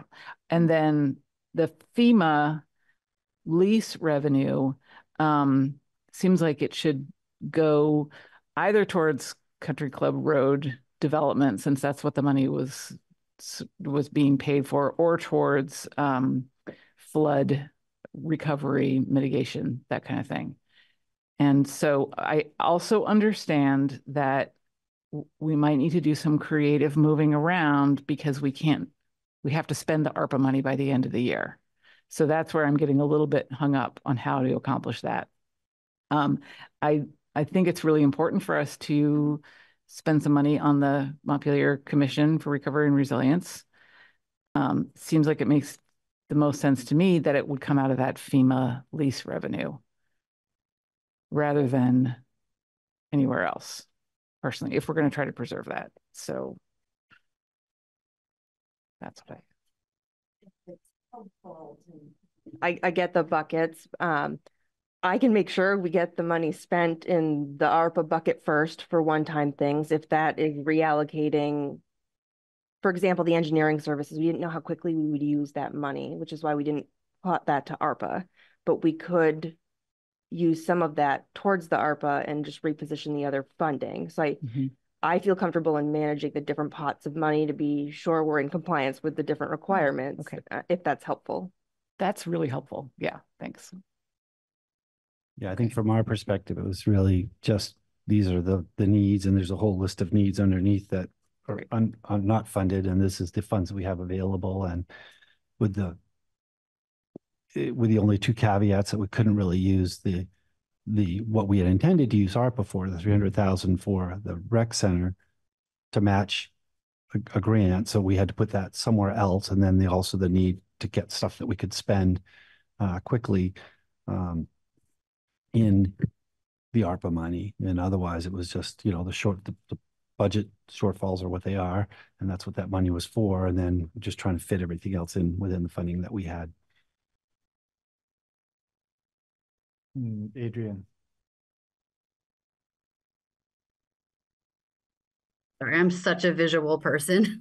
so I updated my spreadsheet um, with actually just making sure that that ARPA was close to that 736. So can I share that again? Sure. To see if this makes sense. Okay.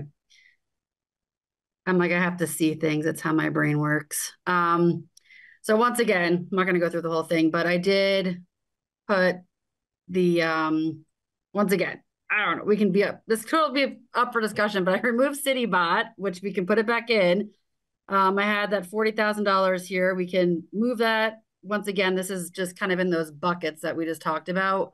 Um, and so if we moved CityBot out um, of the ARPA, that brings us down to 723, which is, you know, still a little bit below the 736. So we could always add some more back to that budget.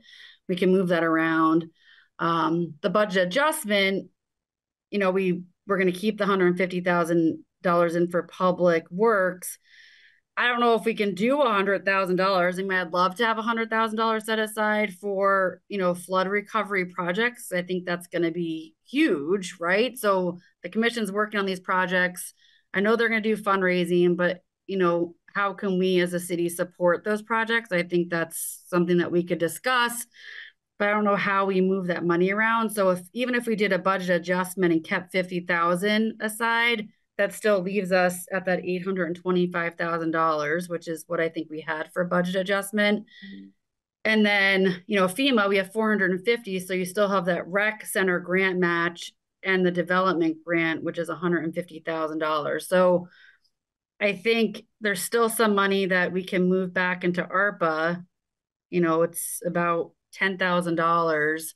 We can move back up here from, you know, maybe one of these projects that you know that we you know it's like that one time funds that we just have to spend um and i don't know if we want to look at some of these numbers to see if we want to you know increase the montpelier commission for recovery or um you know what do we want to do with these $40,000 for the you know the fence i mean you know do we want to wait to get a recommendation from the home homelessness task force I just don't know what to do, but this is kind of what I looked at in terms of the numbers and how we can move them around.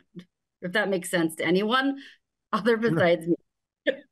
oh, it, it, I totally see where you're coming from. I think it makes sense. Steve, you've been standing up for a while. I'm wondering if you're seeking to be recognized. Why don't we do that now?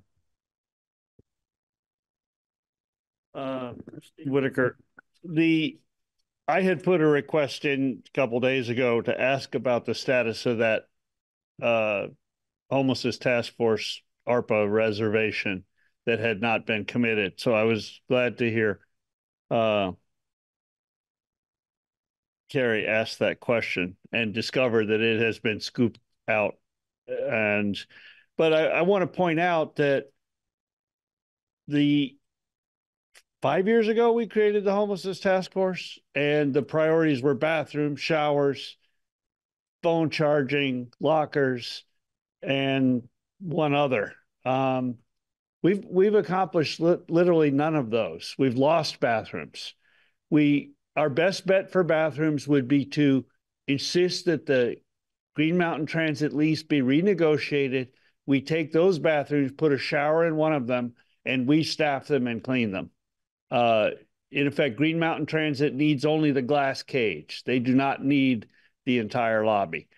Um, we're getting giving them that for a dollar a year. I still don't know if the handicap door has been repaired. Uh, that's one of the things that we should hear back reported back from rather than, you know, keep saying it year after year. Um, I know you took an interest in that. The Taylor Street handicap door paddles had never been installed. Um, so transit transit center is the best and quickest way to use ARPA money to get those bathrooms, get a shower in one of them.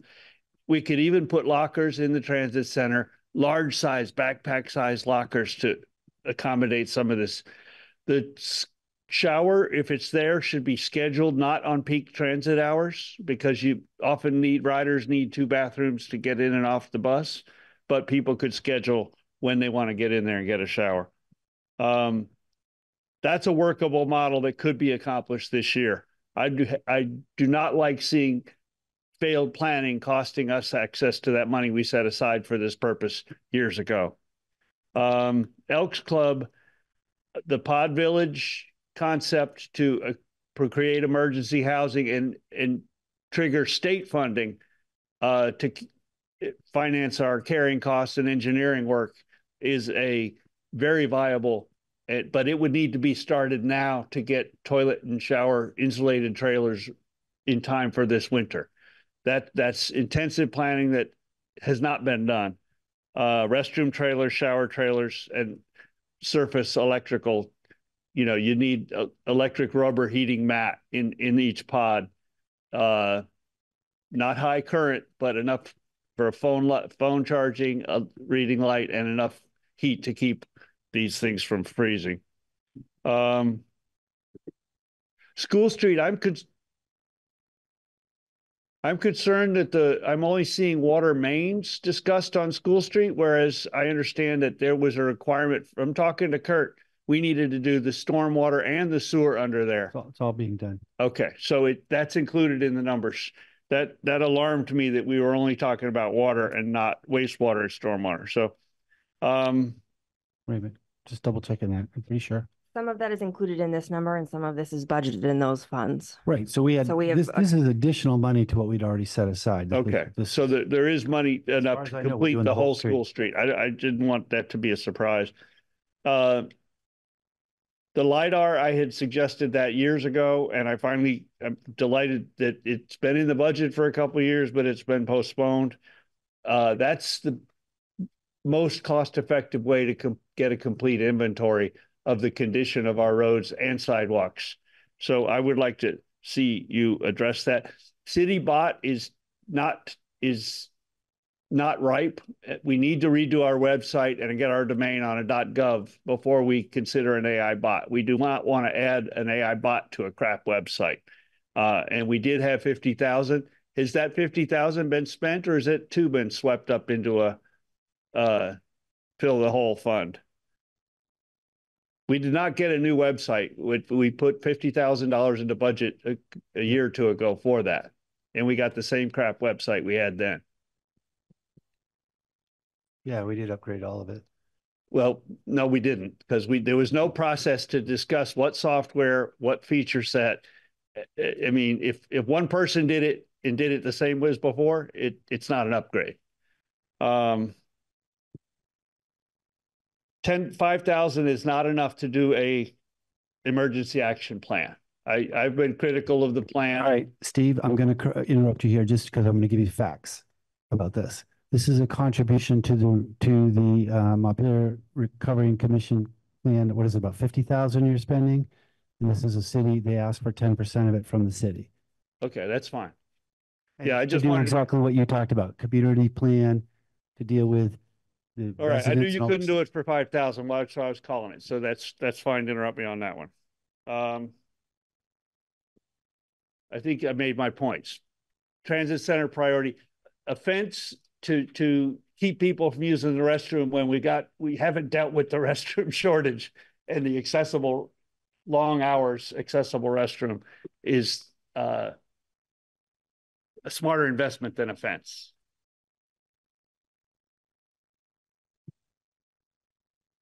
Um, Yeah. before Steve spoke, I was just going to respond to what Adrian had said, um, because she was laying out. I, I'd offer a suggestion simply that you all should figure out how you want to spend all, where you want to put all of these funds. We can make sure they're in the right buckets. I don't, I don't think there's a lot of value added for you all to be worried about what you're taking from which source as much as saying there's this total sum of money, because you can get yourself down a rabbit hole that way. It's like you've got, was it two, well, it's two thousand and seventy-five thousand, two, two million and seventy-five thousand dollars to work with.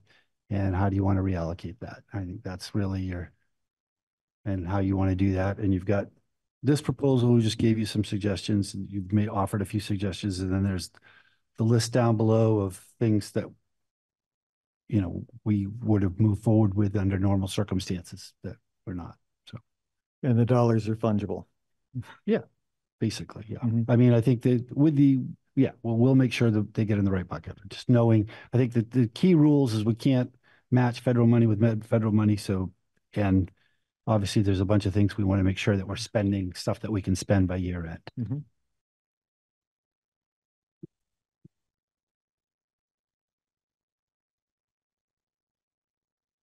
All right.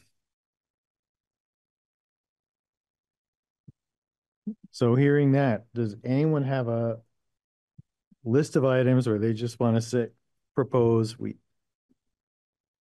we spend this, we don't spend that, and make, make it add up to the dollars we want to make it add up to. Cary, Okay. Uh, I don't know if my math is going to be right on this, but um, if we do not spend ten thousand five hundred on CityBot and we do not spend fifty thousand on the fire engine and we still have sixty-one thousand that was unspoken for in the original Right. plan. That is more than a hundred thousand. Yeah, it's, it's. 121. 121, six. Yeah, so. I mean, total of all of them. So we could have a thousand, a hundred thousand go towards the Commission for Recovery and Resilience. And still have a little bit left over. And do all the other things that are on the list. I think that works.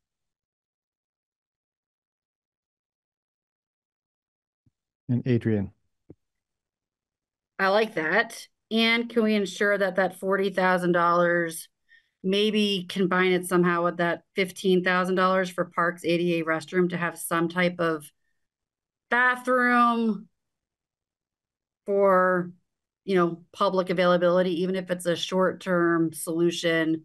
I don't know about the transit center, but I know that I'm here in Pittsburgh, and one of the big topics we've talked about this week in my public health conference is homelessness.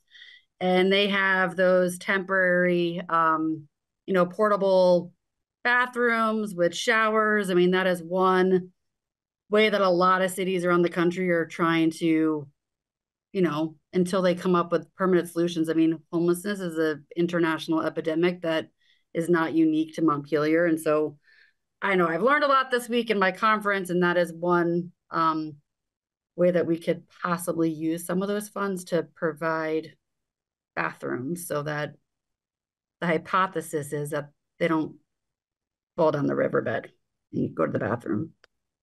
Yeah. Um, I, I like the allocation. I'm wondering about the restroom shower plan that Adrian's mentioning here. I, I don't recall exactly f- from your earlier, there was an email, I think, about this, but does this, is this just the hardware or does this include maintenance and cleaning and that kind of stuff? So after I got her email, I looked up and it looks like purchasing the units is about forty thousand. I mean, there's a range depending on what you get. I would assume So we have not put a lot of research into this and we could always just hold the sum of money and come back with, you know, talk to the homelessness task force and come back Yeah. with a recommendation. It's also a possibility. Um, but I think, so my thinking on those was number one, so some of them we saw had like China toilet seats, which I think would last about three days before they got smashed. And um, so I think, you know, there, you'd want the ones, we'd want to find some with metal fixtures inside, things that were more um, resilient. Um, there is, you know, th- these are independent units. They don't tie into water and sewer, so they they they need to have be refilled with water. They need to be drained. There's there is a fair amount of maintenance that involves them, and I don't know, I don't know what the extent of that is yet, and what what the commitment is to doing that. Um, so that would be certainly an additional need that we'd have to take care of because it is. Mm-hmm, mm-hmm. It Seems, I guess it's been a topic for a while and the committee studied it. Is there a report anywhere? Is there some, I mean, have we advanced anywhere on a recommended option or how to approach from this committee? No. Not specifically. So the, the couple things that were looked at, as you, as you may recall, in the, the design study for the, um, for the rec center, they did show how a front facing shower, and I can't remember what the number was for that. Um, and I think the, cons- yeah, so that was one option. We had obviously been looking for what we could do in this building. There, we, the immediate short term, real should not, not great solution was putting out porta potties in a few places. Uh, those are not the best. Uh, so, um, Yeah, it would seem like we've got buildings downtown. It's more, how can we focus on one of these buildings? Because it's Vermont, you're not gonna. I mean, something that's unheated makes no sense. So whether it's the rec building, it's this building. So if we do something here, do we lose FEMA money? Is that the implication? If we jumped in and got something going in this building? I, I can't answer know, that yeah. per se. Um, you know, it's FEMA has been tricky and there's been a lot of hoops to jump in, and prior approval. So there is the potential that we could shell out our own money and not get reimbursed um, to do something quicker here. But if we did And that and also- didn't, but we wouldn't lose the rest of the project, right? We would just lose that money we invested in the bathrooms? I would think so. Okay. You know, I can't say that for certain.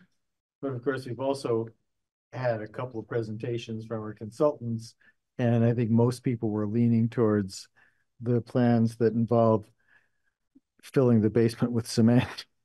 Yeah, but there's a portion of it we don't have to fill that could be used. I mean, you've got That could- that- flexibility. That, that could happen, it's Yeah. true, yeah. Cary. Yeah, I, I would rather spend forty thousand dollars on providing some kind of public restroom access than a fence. Um, I, I don't know that we can work out the details of that right now, but can we, like, maybe we could say that that's where we want that forty thousand dollars to go is to address, you know, the needs of the people who are falling down the bank. Um, and then with the homelessness task force and with others, we could figure out a better way to spend that money. So. Uh, and it's actually sixty-one five, right? Because you had, you used a hundred thousand of the one twenty-one five, that's, that you added up, right? No, You took out I ten left five, forty thousand there for the fence. So, right, you took out the CityBot, you took out the fire truck. You added the sixty-one, that's one twenty-one five, It leaves sixty-one six. it's really. it leaves sixty-one five. Yeah, or forty for the fence and then an extra twenty-one left over. Yeah, but we took out Adrian the had hundred. proposed combining the park bathroom in this for fifty-five thousand. And I think that park bathroom is gonna be, if, if we don't spend it now, I think that's intended for Hubbard Park, right? So that's something that if we don't do now, we're gonna have to do because that's part of our uh, ADA plan. And we've done other uh work up at Hubbard Park, but not that. So, so that'll, that'll be another year where we have to do that.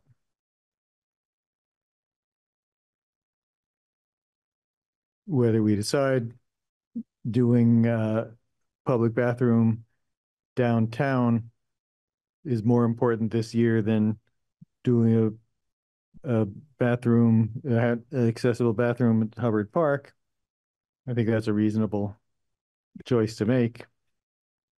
Well, all I was, all I was trying to establish was the number that's, that we've got. I mean, if we cover, from what Cary was talking about, we cover everything,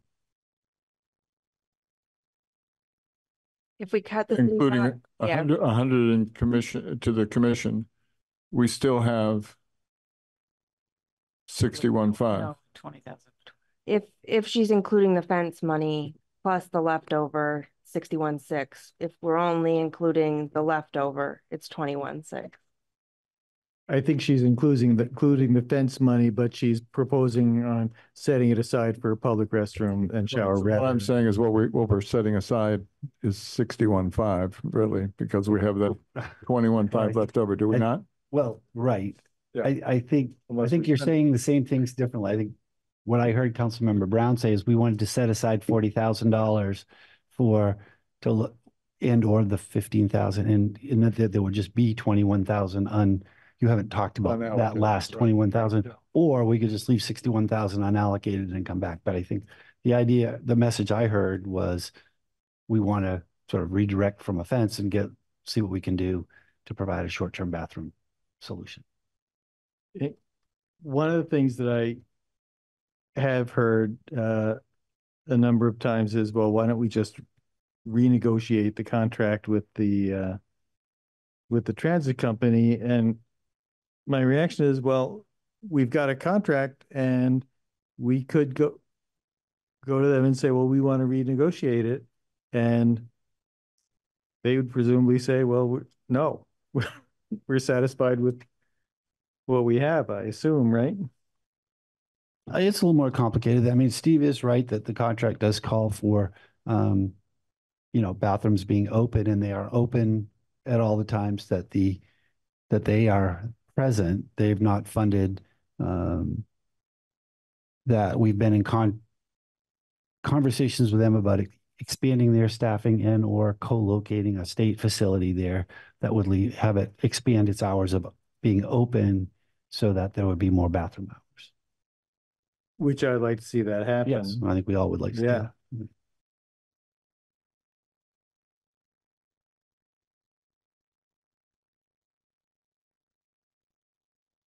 Cary, do you want to take all the suggestions that you just laid out and make it into a motion? Um, yes. Okay. Uh, Mr. Clerk, get out your pencil or The tape on this one. Okay. So I move that we allocate. Can I, I'll try it this way. All of the suggested expenses that came from city staff with the following exceptions. So we remove CityBot for ten thousand five hundred dollars. We remove the fire engine for fifty thousand dollars.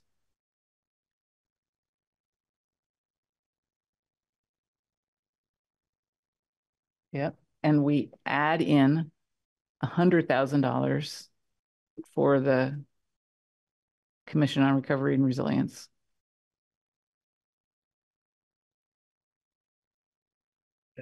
And we direct the we direct city staff to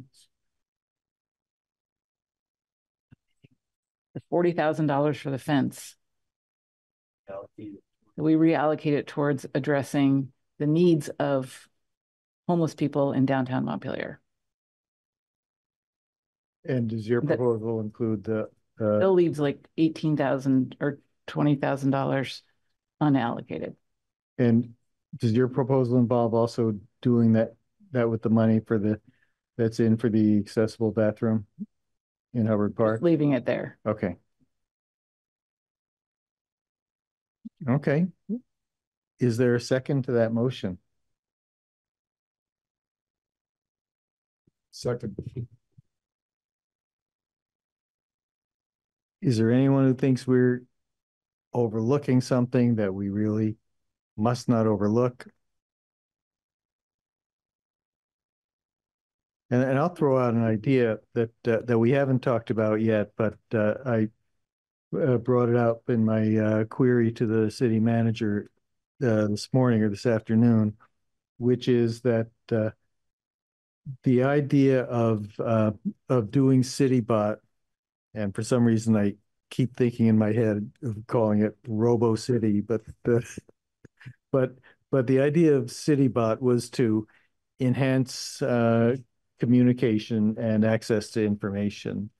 That's almost an even up trade for putting the uh, Times Argus and Bridge pages back in.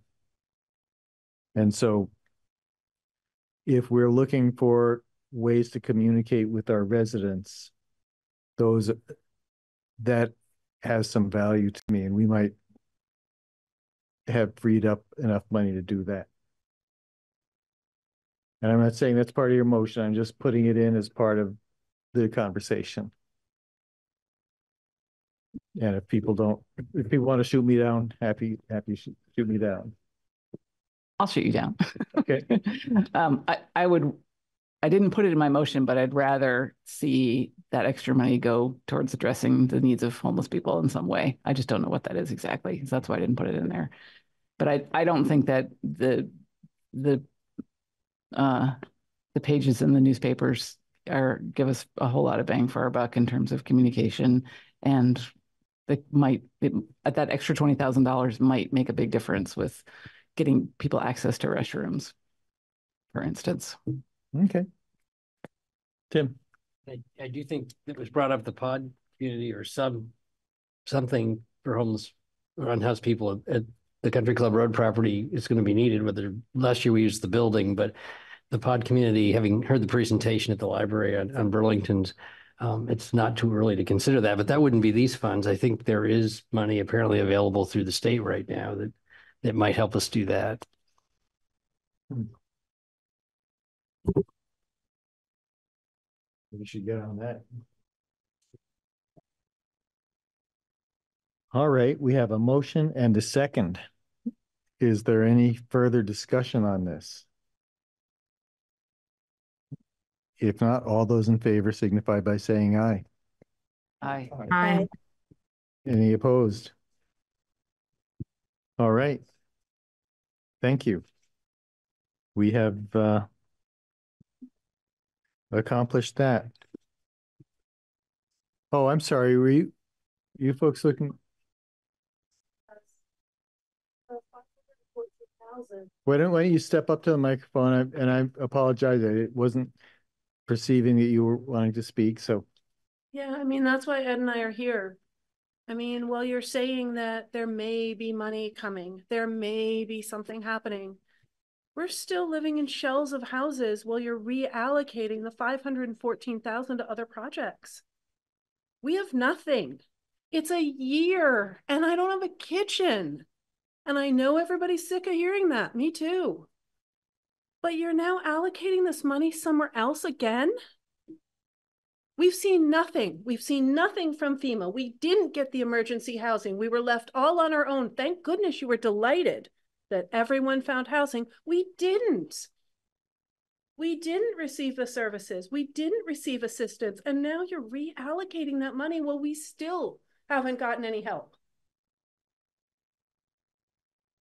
I just don't understand how the money that was supposed to provide us housing during the winter still is sitting there. We still have nothing and you're allocating it to other projects. How can you keep doing this?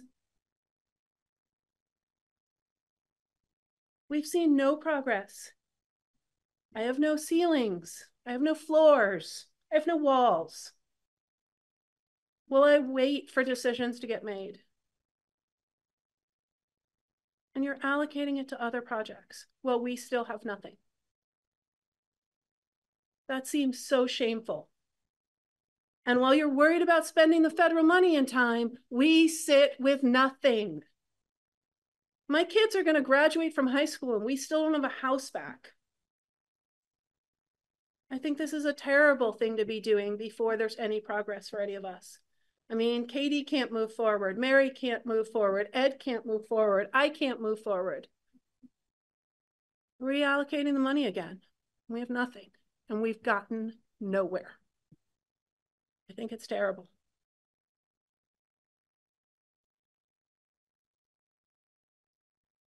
Good night.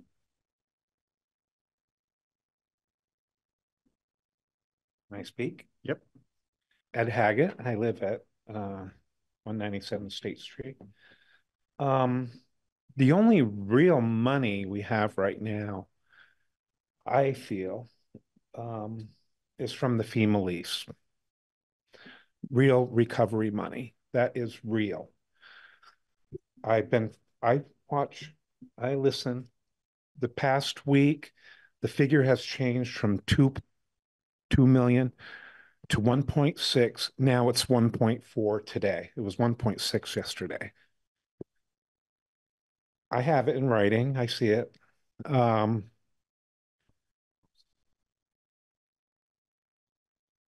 I agree with Lisa. It's it's a shame. I you know, I'd like to have a bathroom, I guess, for homeless people, but I'd like to have a place too. Um, in a month, it will be a year. And I've been getting all these, and I appreciate the work that you've done. Okay. I really, really do. Talking with these people, but you know, the, the, the last agenda was likely we'll get the money. Likely doesn't work. Real money works. I know you're trying real hard, but for me, not knowing which way to move, trying to save every penny I can so I can get myself a house, working with SBA for 10 months which was a complete disaster. They lost my application for seven weeks and just said, oh, oh, well, too bad for you. Um, this just the other day, I found out, oh, the city wants to buy my property. Wow, woohoo. You know, that I appreciate that, you know, but it's, it's like idea to speed your it's an idea, yeah. But we don't have any strategic plan of how that how these neighborhoods are going to look. We don't know if you can even elevate them because of the water that comes down the back, not only in the front, comes down the back. We we don't have any of that information. So how can we make wise decisions? We can't. I guess my two minutes is probably up. But I have I I agree with Lisa. Shame Shame, shame, shame. But I do appreciate the efforts that are going on. I mean, meeting, meeting John, uh, talking to him and uh, Suzanne and all the other people that I've been trying to work with, trying to get this straightened out. I'm still, my own fault probably, I'm still on a daybed. My daughter's dead. Thank you very much. Thanks for coming in.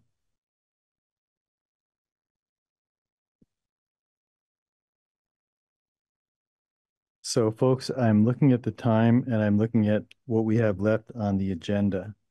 And um, I know that people, one, it's late. Two, people are very tired. Three, we're hoping to uh, have the uh, strategic plan discussion as a workshop style thing on the in the middle of the room. My suggestion is that we get here the uh, it, administration overview and revised communication plan, if even that, and then move the uh, strategic plan to our next meeting.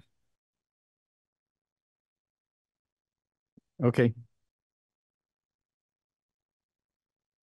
Administration overview.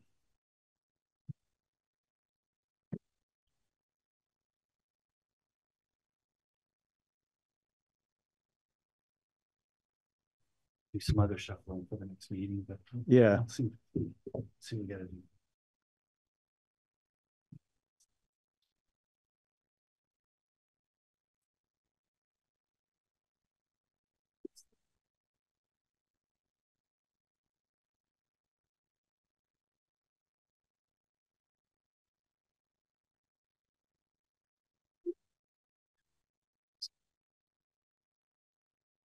On light on or off? Um, we'll see what they look like. I.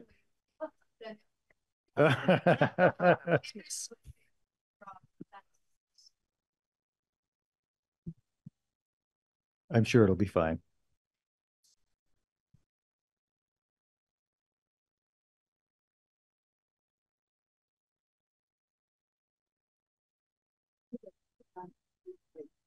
Have a dimmer. Yeah. over there. I'll just run out to get to the car and get my shades.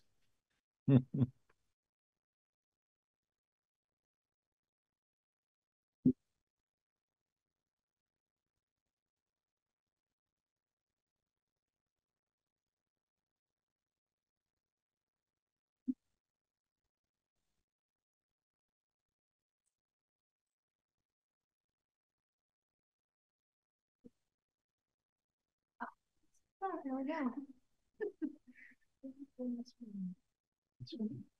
Yeah, it's just not on Zoom yet.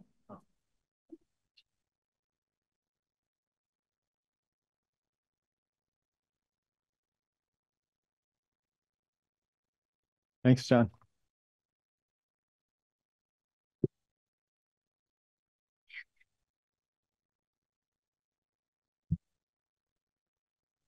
This is going to be a little bit of an unrehearsed tag team. Um, right? Right. Okay. Um, what we wanted to do, obviously, we've been going through all the other city departments, and we are going to do this very quickly tonight. Um, we were anyway, even if it wasn't ten fifteen. But one of the things that I, I really want to emphasize when we're going through this, you'll hear from Kelly and I about the manager's office. You'll hear from Sarah about the finance office, and I think John about the clerk's office, and then Evelyn with our communications plan. Um, what? Oh, Tanya's online. Okay, great, excellent. We can have Tanya pop in about HR too. Super.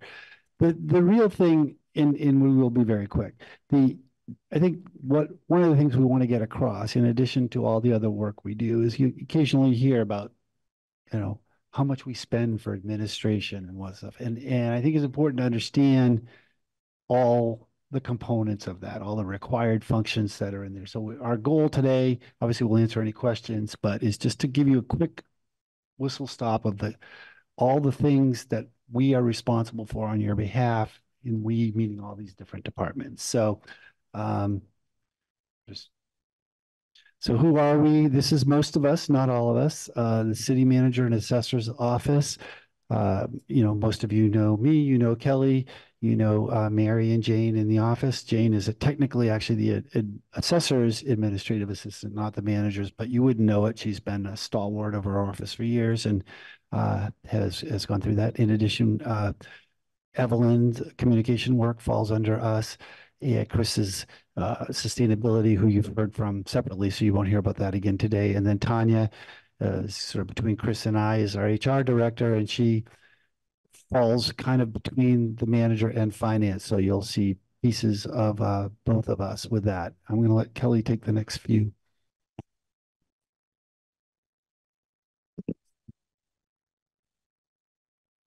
Great. Uh, can everybody hear me okay? Looks good. Okay. So um, what we wanted to do was just pull up what um, our part of the strategic plan was. So if we had a sixth goal, um, and so this is from the previous strategic plan. And so these are some of the component pieces that we work through, um, communicating effectively, increasing accessibility, diversity, and equity and inclusion, and then um, enhancing capacity for city staff and council. Um, and so you can see from this slide, um, the details, it's a, a, kind of hard to look at, um, but you kind of get the gist. Um, we've got council support, operations, the assessor's office, communications, policy implementation, and human resources. And we're going to get into some of those details in future slides. And so for the purposes of, you know, what Bill and I do, um, the highlights would be under the council support, which is, you know, preparing the agendas, constituent service, policy recommendations, as well as some of the operation pieces, um, you know, supervising and managing staff, um, special projects such as flood recovery or emergency management. And so Tanya is available online and can chime in here. Hi, everybody. I'm Tanya Chambers. I'm the HR director for the city of Montpelier. I'm going to try to make this quick. I know it's late. Um, so the HR role plays an important part in the beginning, middle, and end of the employee's time here at the city. Uh, this starts with hiring and onboarding of new employees. A great hire is when you find an employee with the skills to successfully perform the tasks required to attain the strategic goals. I believe we've been extremely fortunate to have the staff that we do who work hard and bring to the table a ton of knowledge and know-how. Since most organizations can't operate without employees, it's important to make sure those employees have full access to and knowledge of all their benefits.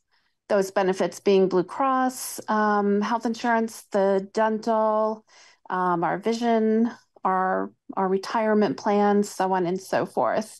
In addition to uh, the wellness initiative that Blue Cross and Blue Shield provides, which is an additional $9,000 that they give us to spend on the wellness of our employees. Uh, they also need to know companies' policies and understand what's expected of them. So this position is very much employee facing and, and connecting with the employees. A lot of what I do regarding workplace culture is to start by building relationships with our employees. It's important that they have somewhere to go where they feel safe, heard, and supported. This makes managing conflicts and performance issues much easier when you've built those connections. Some challenges I'm facing currently is the stress levels of some employees. It's no surprise that the stress, stretched budget has been the reason for short staffing levels, leaving fewer employees to maintain workloads, which may lead to burnout. New on the horizon for this position is to utilize my newly acquired mental health first aid certification to better assist and provide resources to those who may be dealing with mental health struggles. Additionally, I'm working on mainstreaming our evaluation processes to better assist department heads, um, taking some of those pressures and deadlines off their plate, as well as working closely with the finance department to continue moving forward with the final touches on a better timekeeping system that will reduce the time it takes to perform the biweekly payroll process. And lastly, coming up to coming up in the next couple of months, I'm planning a workshop earmarked for all department heads and supervisors designed to provide strategies that can be used day to day to promote resilient leadership and to help with coaching and difficult conversations. Thank you. So this next slide um, is sort of an overview of the assessor's office. And so, you know, we've become very familiar with the assessor's office and the work that has just been done. So I won't belabor this too much, but um, we've got the appraisal and reassessment, the maintenance of property um, information, records, sales, tax maps, and the like, um, and then providing information. Um, and then it just gives kind of a listing of available records for review. And then Evelyn's going to maybe chime in here a little bit, just a guest appearance. Um, oh, perfect. Can everybody hear me okay? yep. great. Um, Evelyn Prim, Communications Coordinator. So um, I began in this position in the summer of 2022. And so uh, that quote that's on the top there is basically set in motion my guiding philosophy for what my work entails. Um, you've heard me um, present um, a bunch of different things, but basically I'm responsible for the day-to-day -day communications as well as um, helping orient the vision of communications within the city. And as you can see, I tried to illustrate um, using um, Bill's excellent metaphor of the uh, airplane, um, which I need to correct my math on a little bit of that. But um, you can see the foundational elements is the press releases, website maintenance, things like that. Um, and then as you move up, um, the vision and towards the vision and mission, which is what the strategic communications plan is all about that you have in your packet. Um, I won't go into detail on that because it's pretty it's pretty lengthy, um, but that has been a document that I've been working on since I started here. So it is basically the culmination of everything that has gone into this work and communication, and it also outlines the vision of where we want to go. So just like your strategic plan outlines your uh, the policy um, vision for the city, the strategic communications plan outlines um, where we want the, the basically the, the reason that I'm here, why I'm here and where we want to go with communications. And my hope is that if I were to be hit by a bus tomorrow, somebody could pick up that document and take over seamlessly from where I left off. Um, so it's it's part manual, part uh, staff policy document. Um, a little bit of everything goes in there. Um, and I'm happy to to explain um, and answer questions on that when we um, when we get to it. So just um in numbers, we um, just have sort of the the two departments rep represented here. So we've got the city manager's office, which is six hundred ninety three thousand dollars or so um, for FY twenty five, and then the assessor's office, um, which is two hundred and three thousand dollars, and you can see the ups associated in those budgets year over year.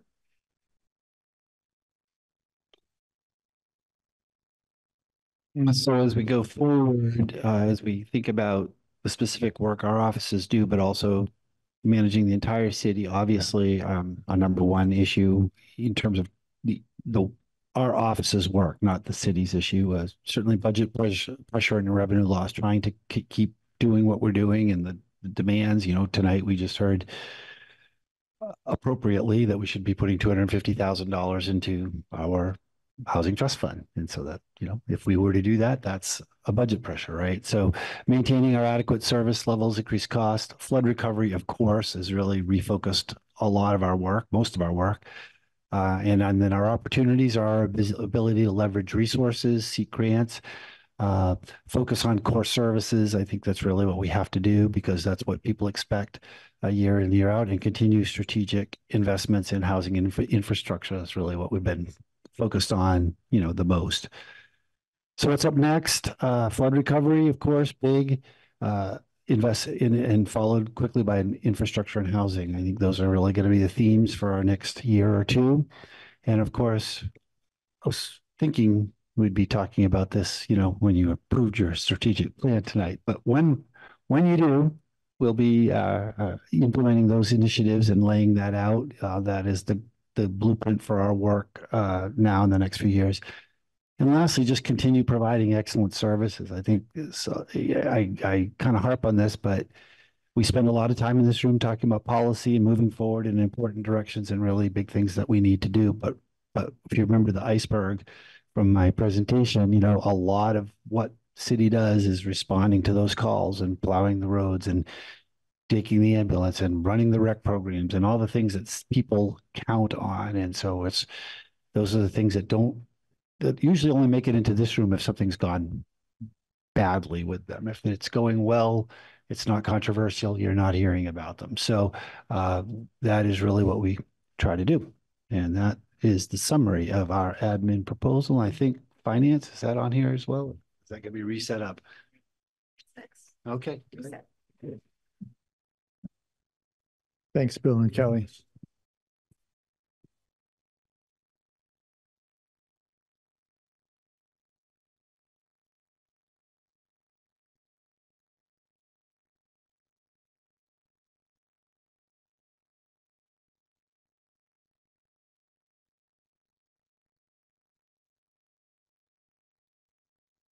While you're getting set up, I'm going to comment that I'm I'm looking at council members' faces around the table.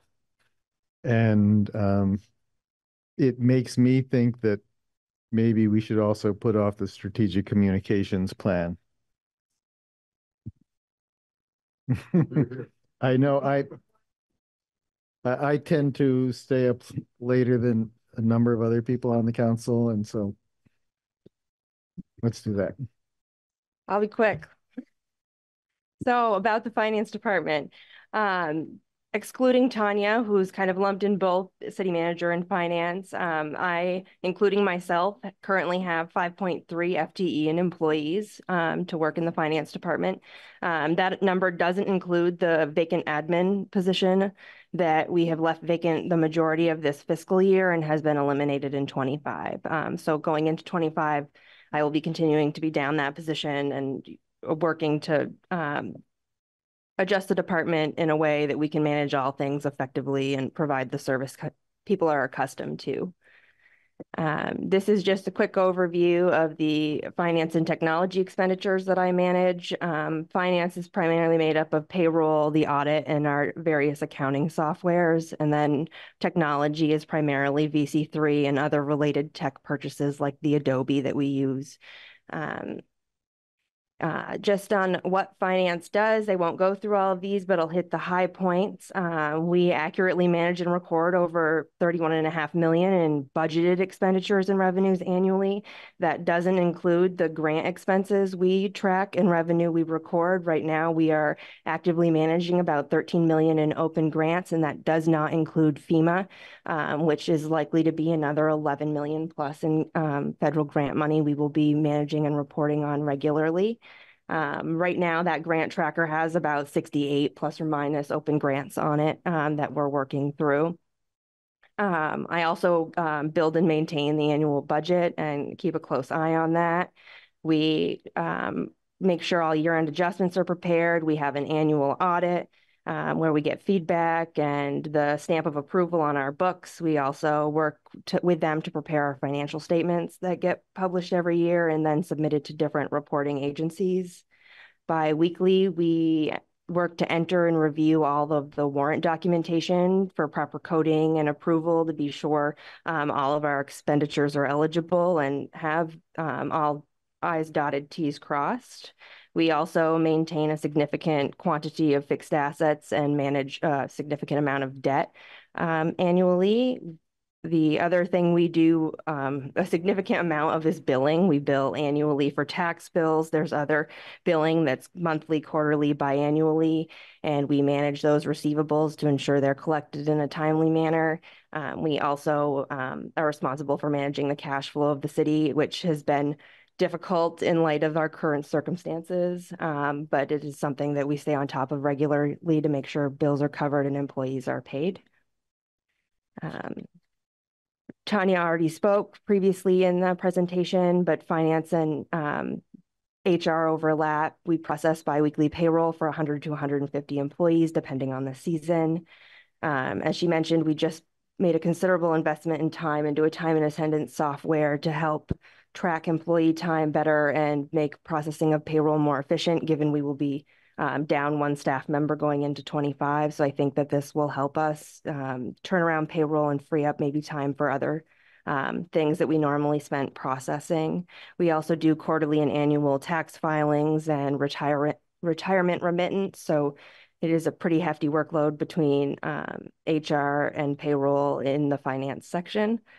Um, the challenges we face, obviously, um, our staffing. We manage a significant quantity of money, and we want to make sure that it's all accounted for properly. So, um, you know, being down the position is tough.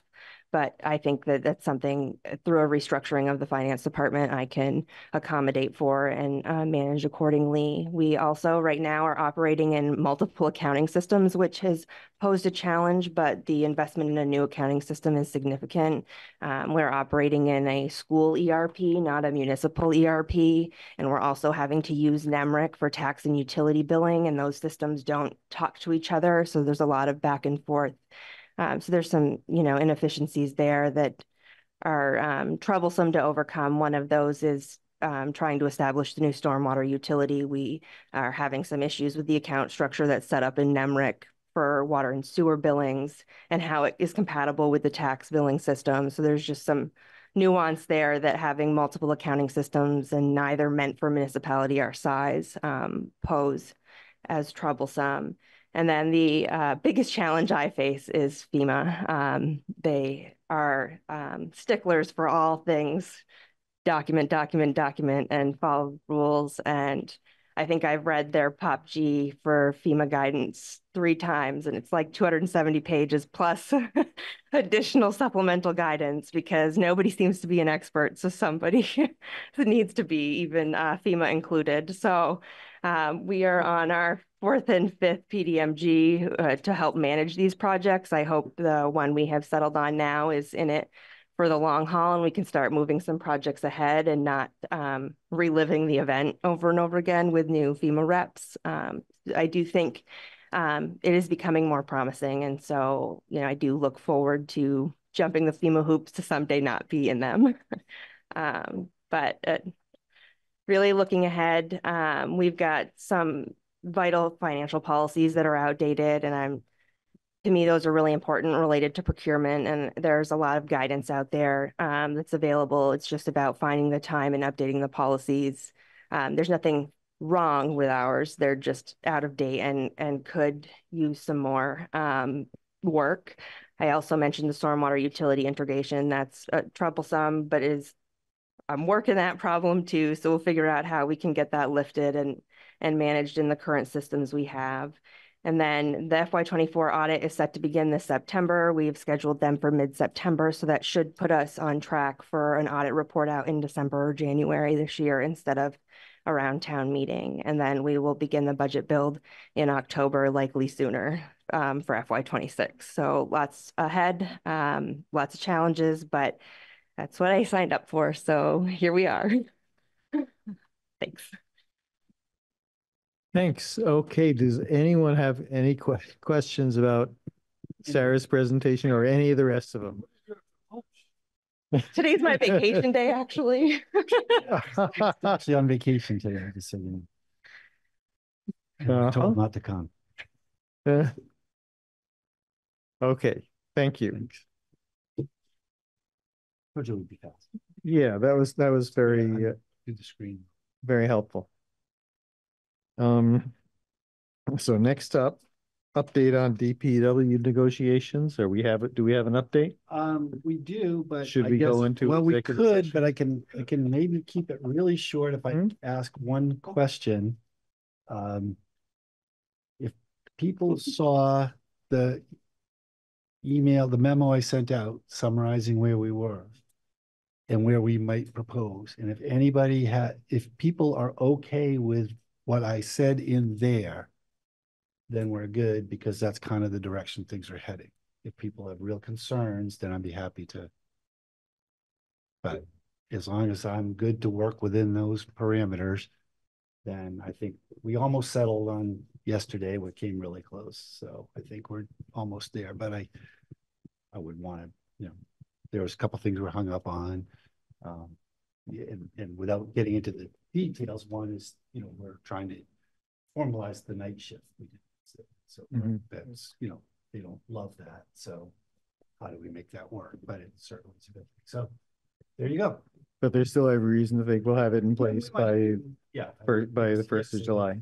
I think, well, yeah, we have one more meeting set for the twenty-fifth or something like. Right, so So, okay, could have a last minute tentative agreement for the Ju- June twenty-sixth meeting. Potentially, all right, so we don't, Cary. I, I, I don't want to make us stay any longer, but we were supposed to get a city clerk update Oh. as well. sorry, that's right. And I do think it's really important. You didn't jump. That's okay, we can skip. No, no, No. we're not gonna skip you. Uh, thank you, Cary. Yes, thank you. Okay, I'll be so fast. Five minutes. I'm a leaf on the wind. All right, let me share my screen here. Figure out which screen to share. There we go. It's even right there on the page. It's, uh. it's Yeah, yeah, yeah. I know, I know how it is. Okay, wait a minute. How do I start? Shoot. All right. Well, I'm not seeing the start. Slideshow. Oh, it's way over here. That's the Mhm. problem. Okay. This is me. I am your friendly neighborhood city clerk. That means I am an elected bureaucrat, which is a, a unique thing. Um, I exist because I'm elected. I'm outside the regular city hierarchy, which means nobody has to listen to me and I don't have to listen to them. So it's all a good deal. Um, this is us in the office. Uh, there's two of us. And I'm going to brag a little here because the towns uh, immediate population immediately below us and above us, Barre Town and Winooski, they both separate their clerk and treasurer too, and their clerk staffs are each three. We are two. I'm a certified municipal clerk from the International Institute of Municipal Clerks, got a certificate in election administration from the University of Minnesota. I'm also a certified ethical hacker and a certified network defense architect, which I get a, mi- a lot of mileage off of. Sarah, my deputy, is also a certified municipal clerk and formerly served as clerk for the towns of Duvall, Newcastle, and Yarrow Point in Washington and Driggs, Idaho, and is a former reporter. So between the two of us, we are honestly the most experienced and and we're a great staff. Okay, I'm eating through my five minutes quick. Um, this is a list generally of what we do. Um, City Council, I'm the secretary, handle all the land records, land deeds, vital records, make them available, archive some old stuff we're supposed to keep like grand lists and chattel mortgages. We handle the work on the abatements process, process request. You all know all about that uh, licensing, dog licensing, marriage licenses, business licenses, the property tax appeals, we coordinate and I staff and support the Board of Civil Authority and the Board of Abatement. Then we do elections, which uh, this is, I think, why I am independently elected and not answerable to y'all, because you can be on the ballot. Um, and I'm a separate person. So anyways, recounts, that means volunteer recruitment and management, um, oh, I've misspelled some things in there, but I do those too. And the other public facing duties are things like state park passes. I help with taking payments and parking tickets with the finance department. We're the first point of contact for citizens. So I have to smile a lot. Um, and we're an information resource. So I'm almost done. I'm so close here. So this, I made this a long time ago. I don't remember exactly what I'm looking at here, but this is the uh, amount of the budget that's not public safety. And I just want to give you all a sense of where we are in terms of the percentage of that we use. Way down here, 2.8% between the assessor and tree management. So we have a very low budgetary impact, but I think city's getting an awful lot of bang for its buck. Our historical budget here, I've managed to just barely continue to keep it under 200,000. You can see over the last few years, the red is really not fair because I have a discrete fund that I can spend for prop or for uh, uh, keeping records indefinitely and taking care of records, and I tapped into that. Shows on my budget, not fair. It's not really an overspending, but you can see where it dropped down the pandemic when I was working without my deputy for a while, dropped down again in 22 when I worked without a deputy for a while. But anyways, we keep keep a pretty tight budget, even though costs and expenses have gone way up for elections and such. Uh, that's it. Questions, thoughts, suggestions, You- anecdotes. You forgot to mention the uh, historical uh, museum that you've got in your. Uh, Oh, which has been scrunched down to now just a nice historical collection, but because we're running out of space.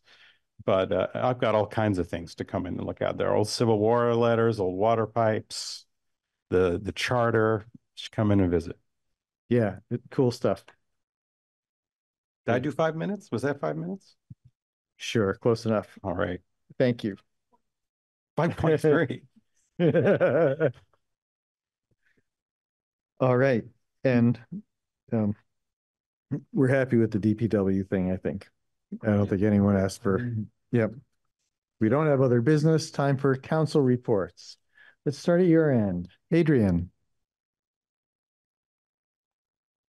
Nothing.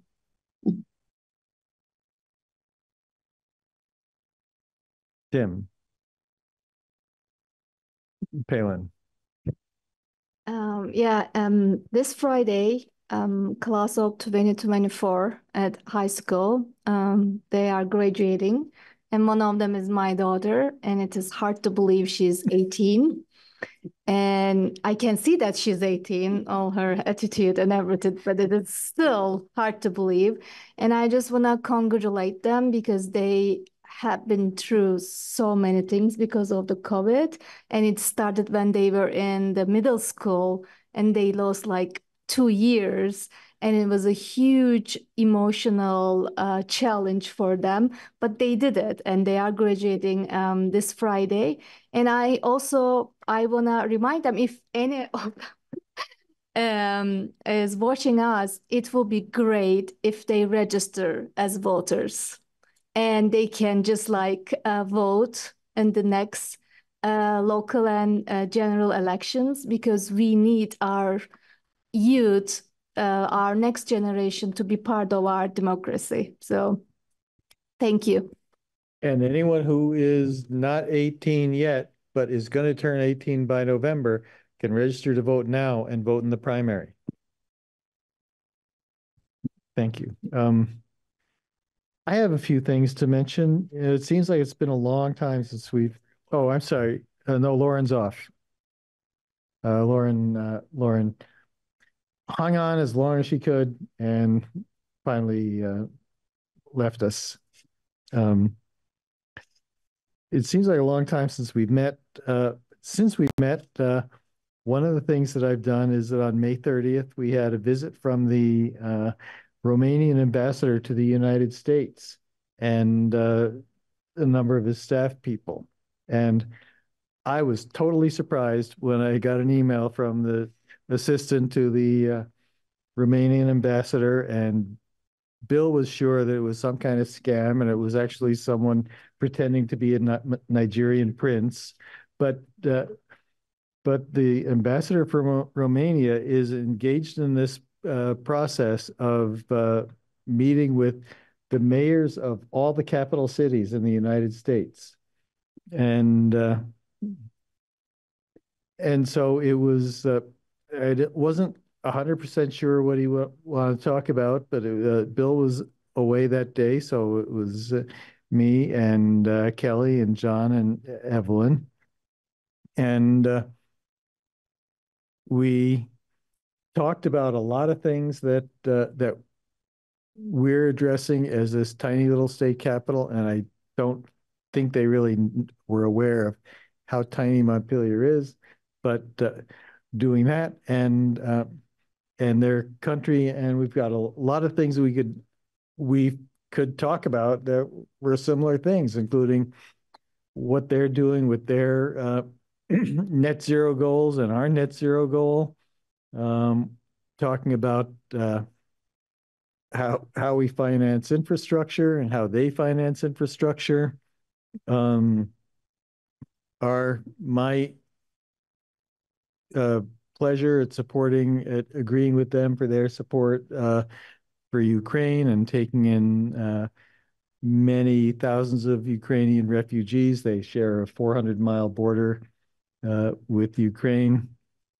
And they also told us that they uh, paid a quick visit to the uh, Capital Cannabis across the street. And they thought that was a novelty because the ideology over in Romania is very much against cannabis or any other uh, recreational drug. So it was it was a.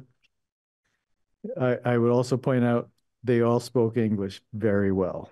So so it was an interesting uh, couple of hours, and it was definitely worth doing.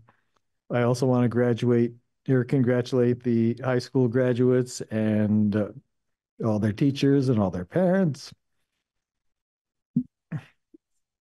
it's it's kind of a long time since my kids were doing the same thing, but uh, but it's great.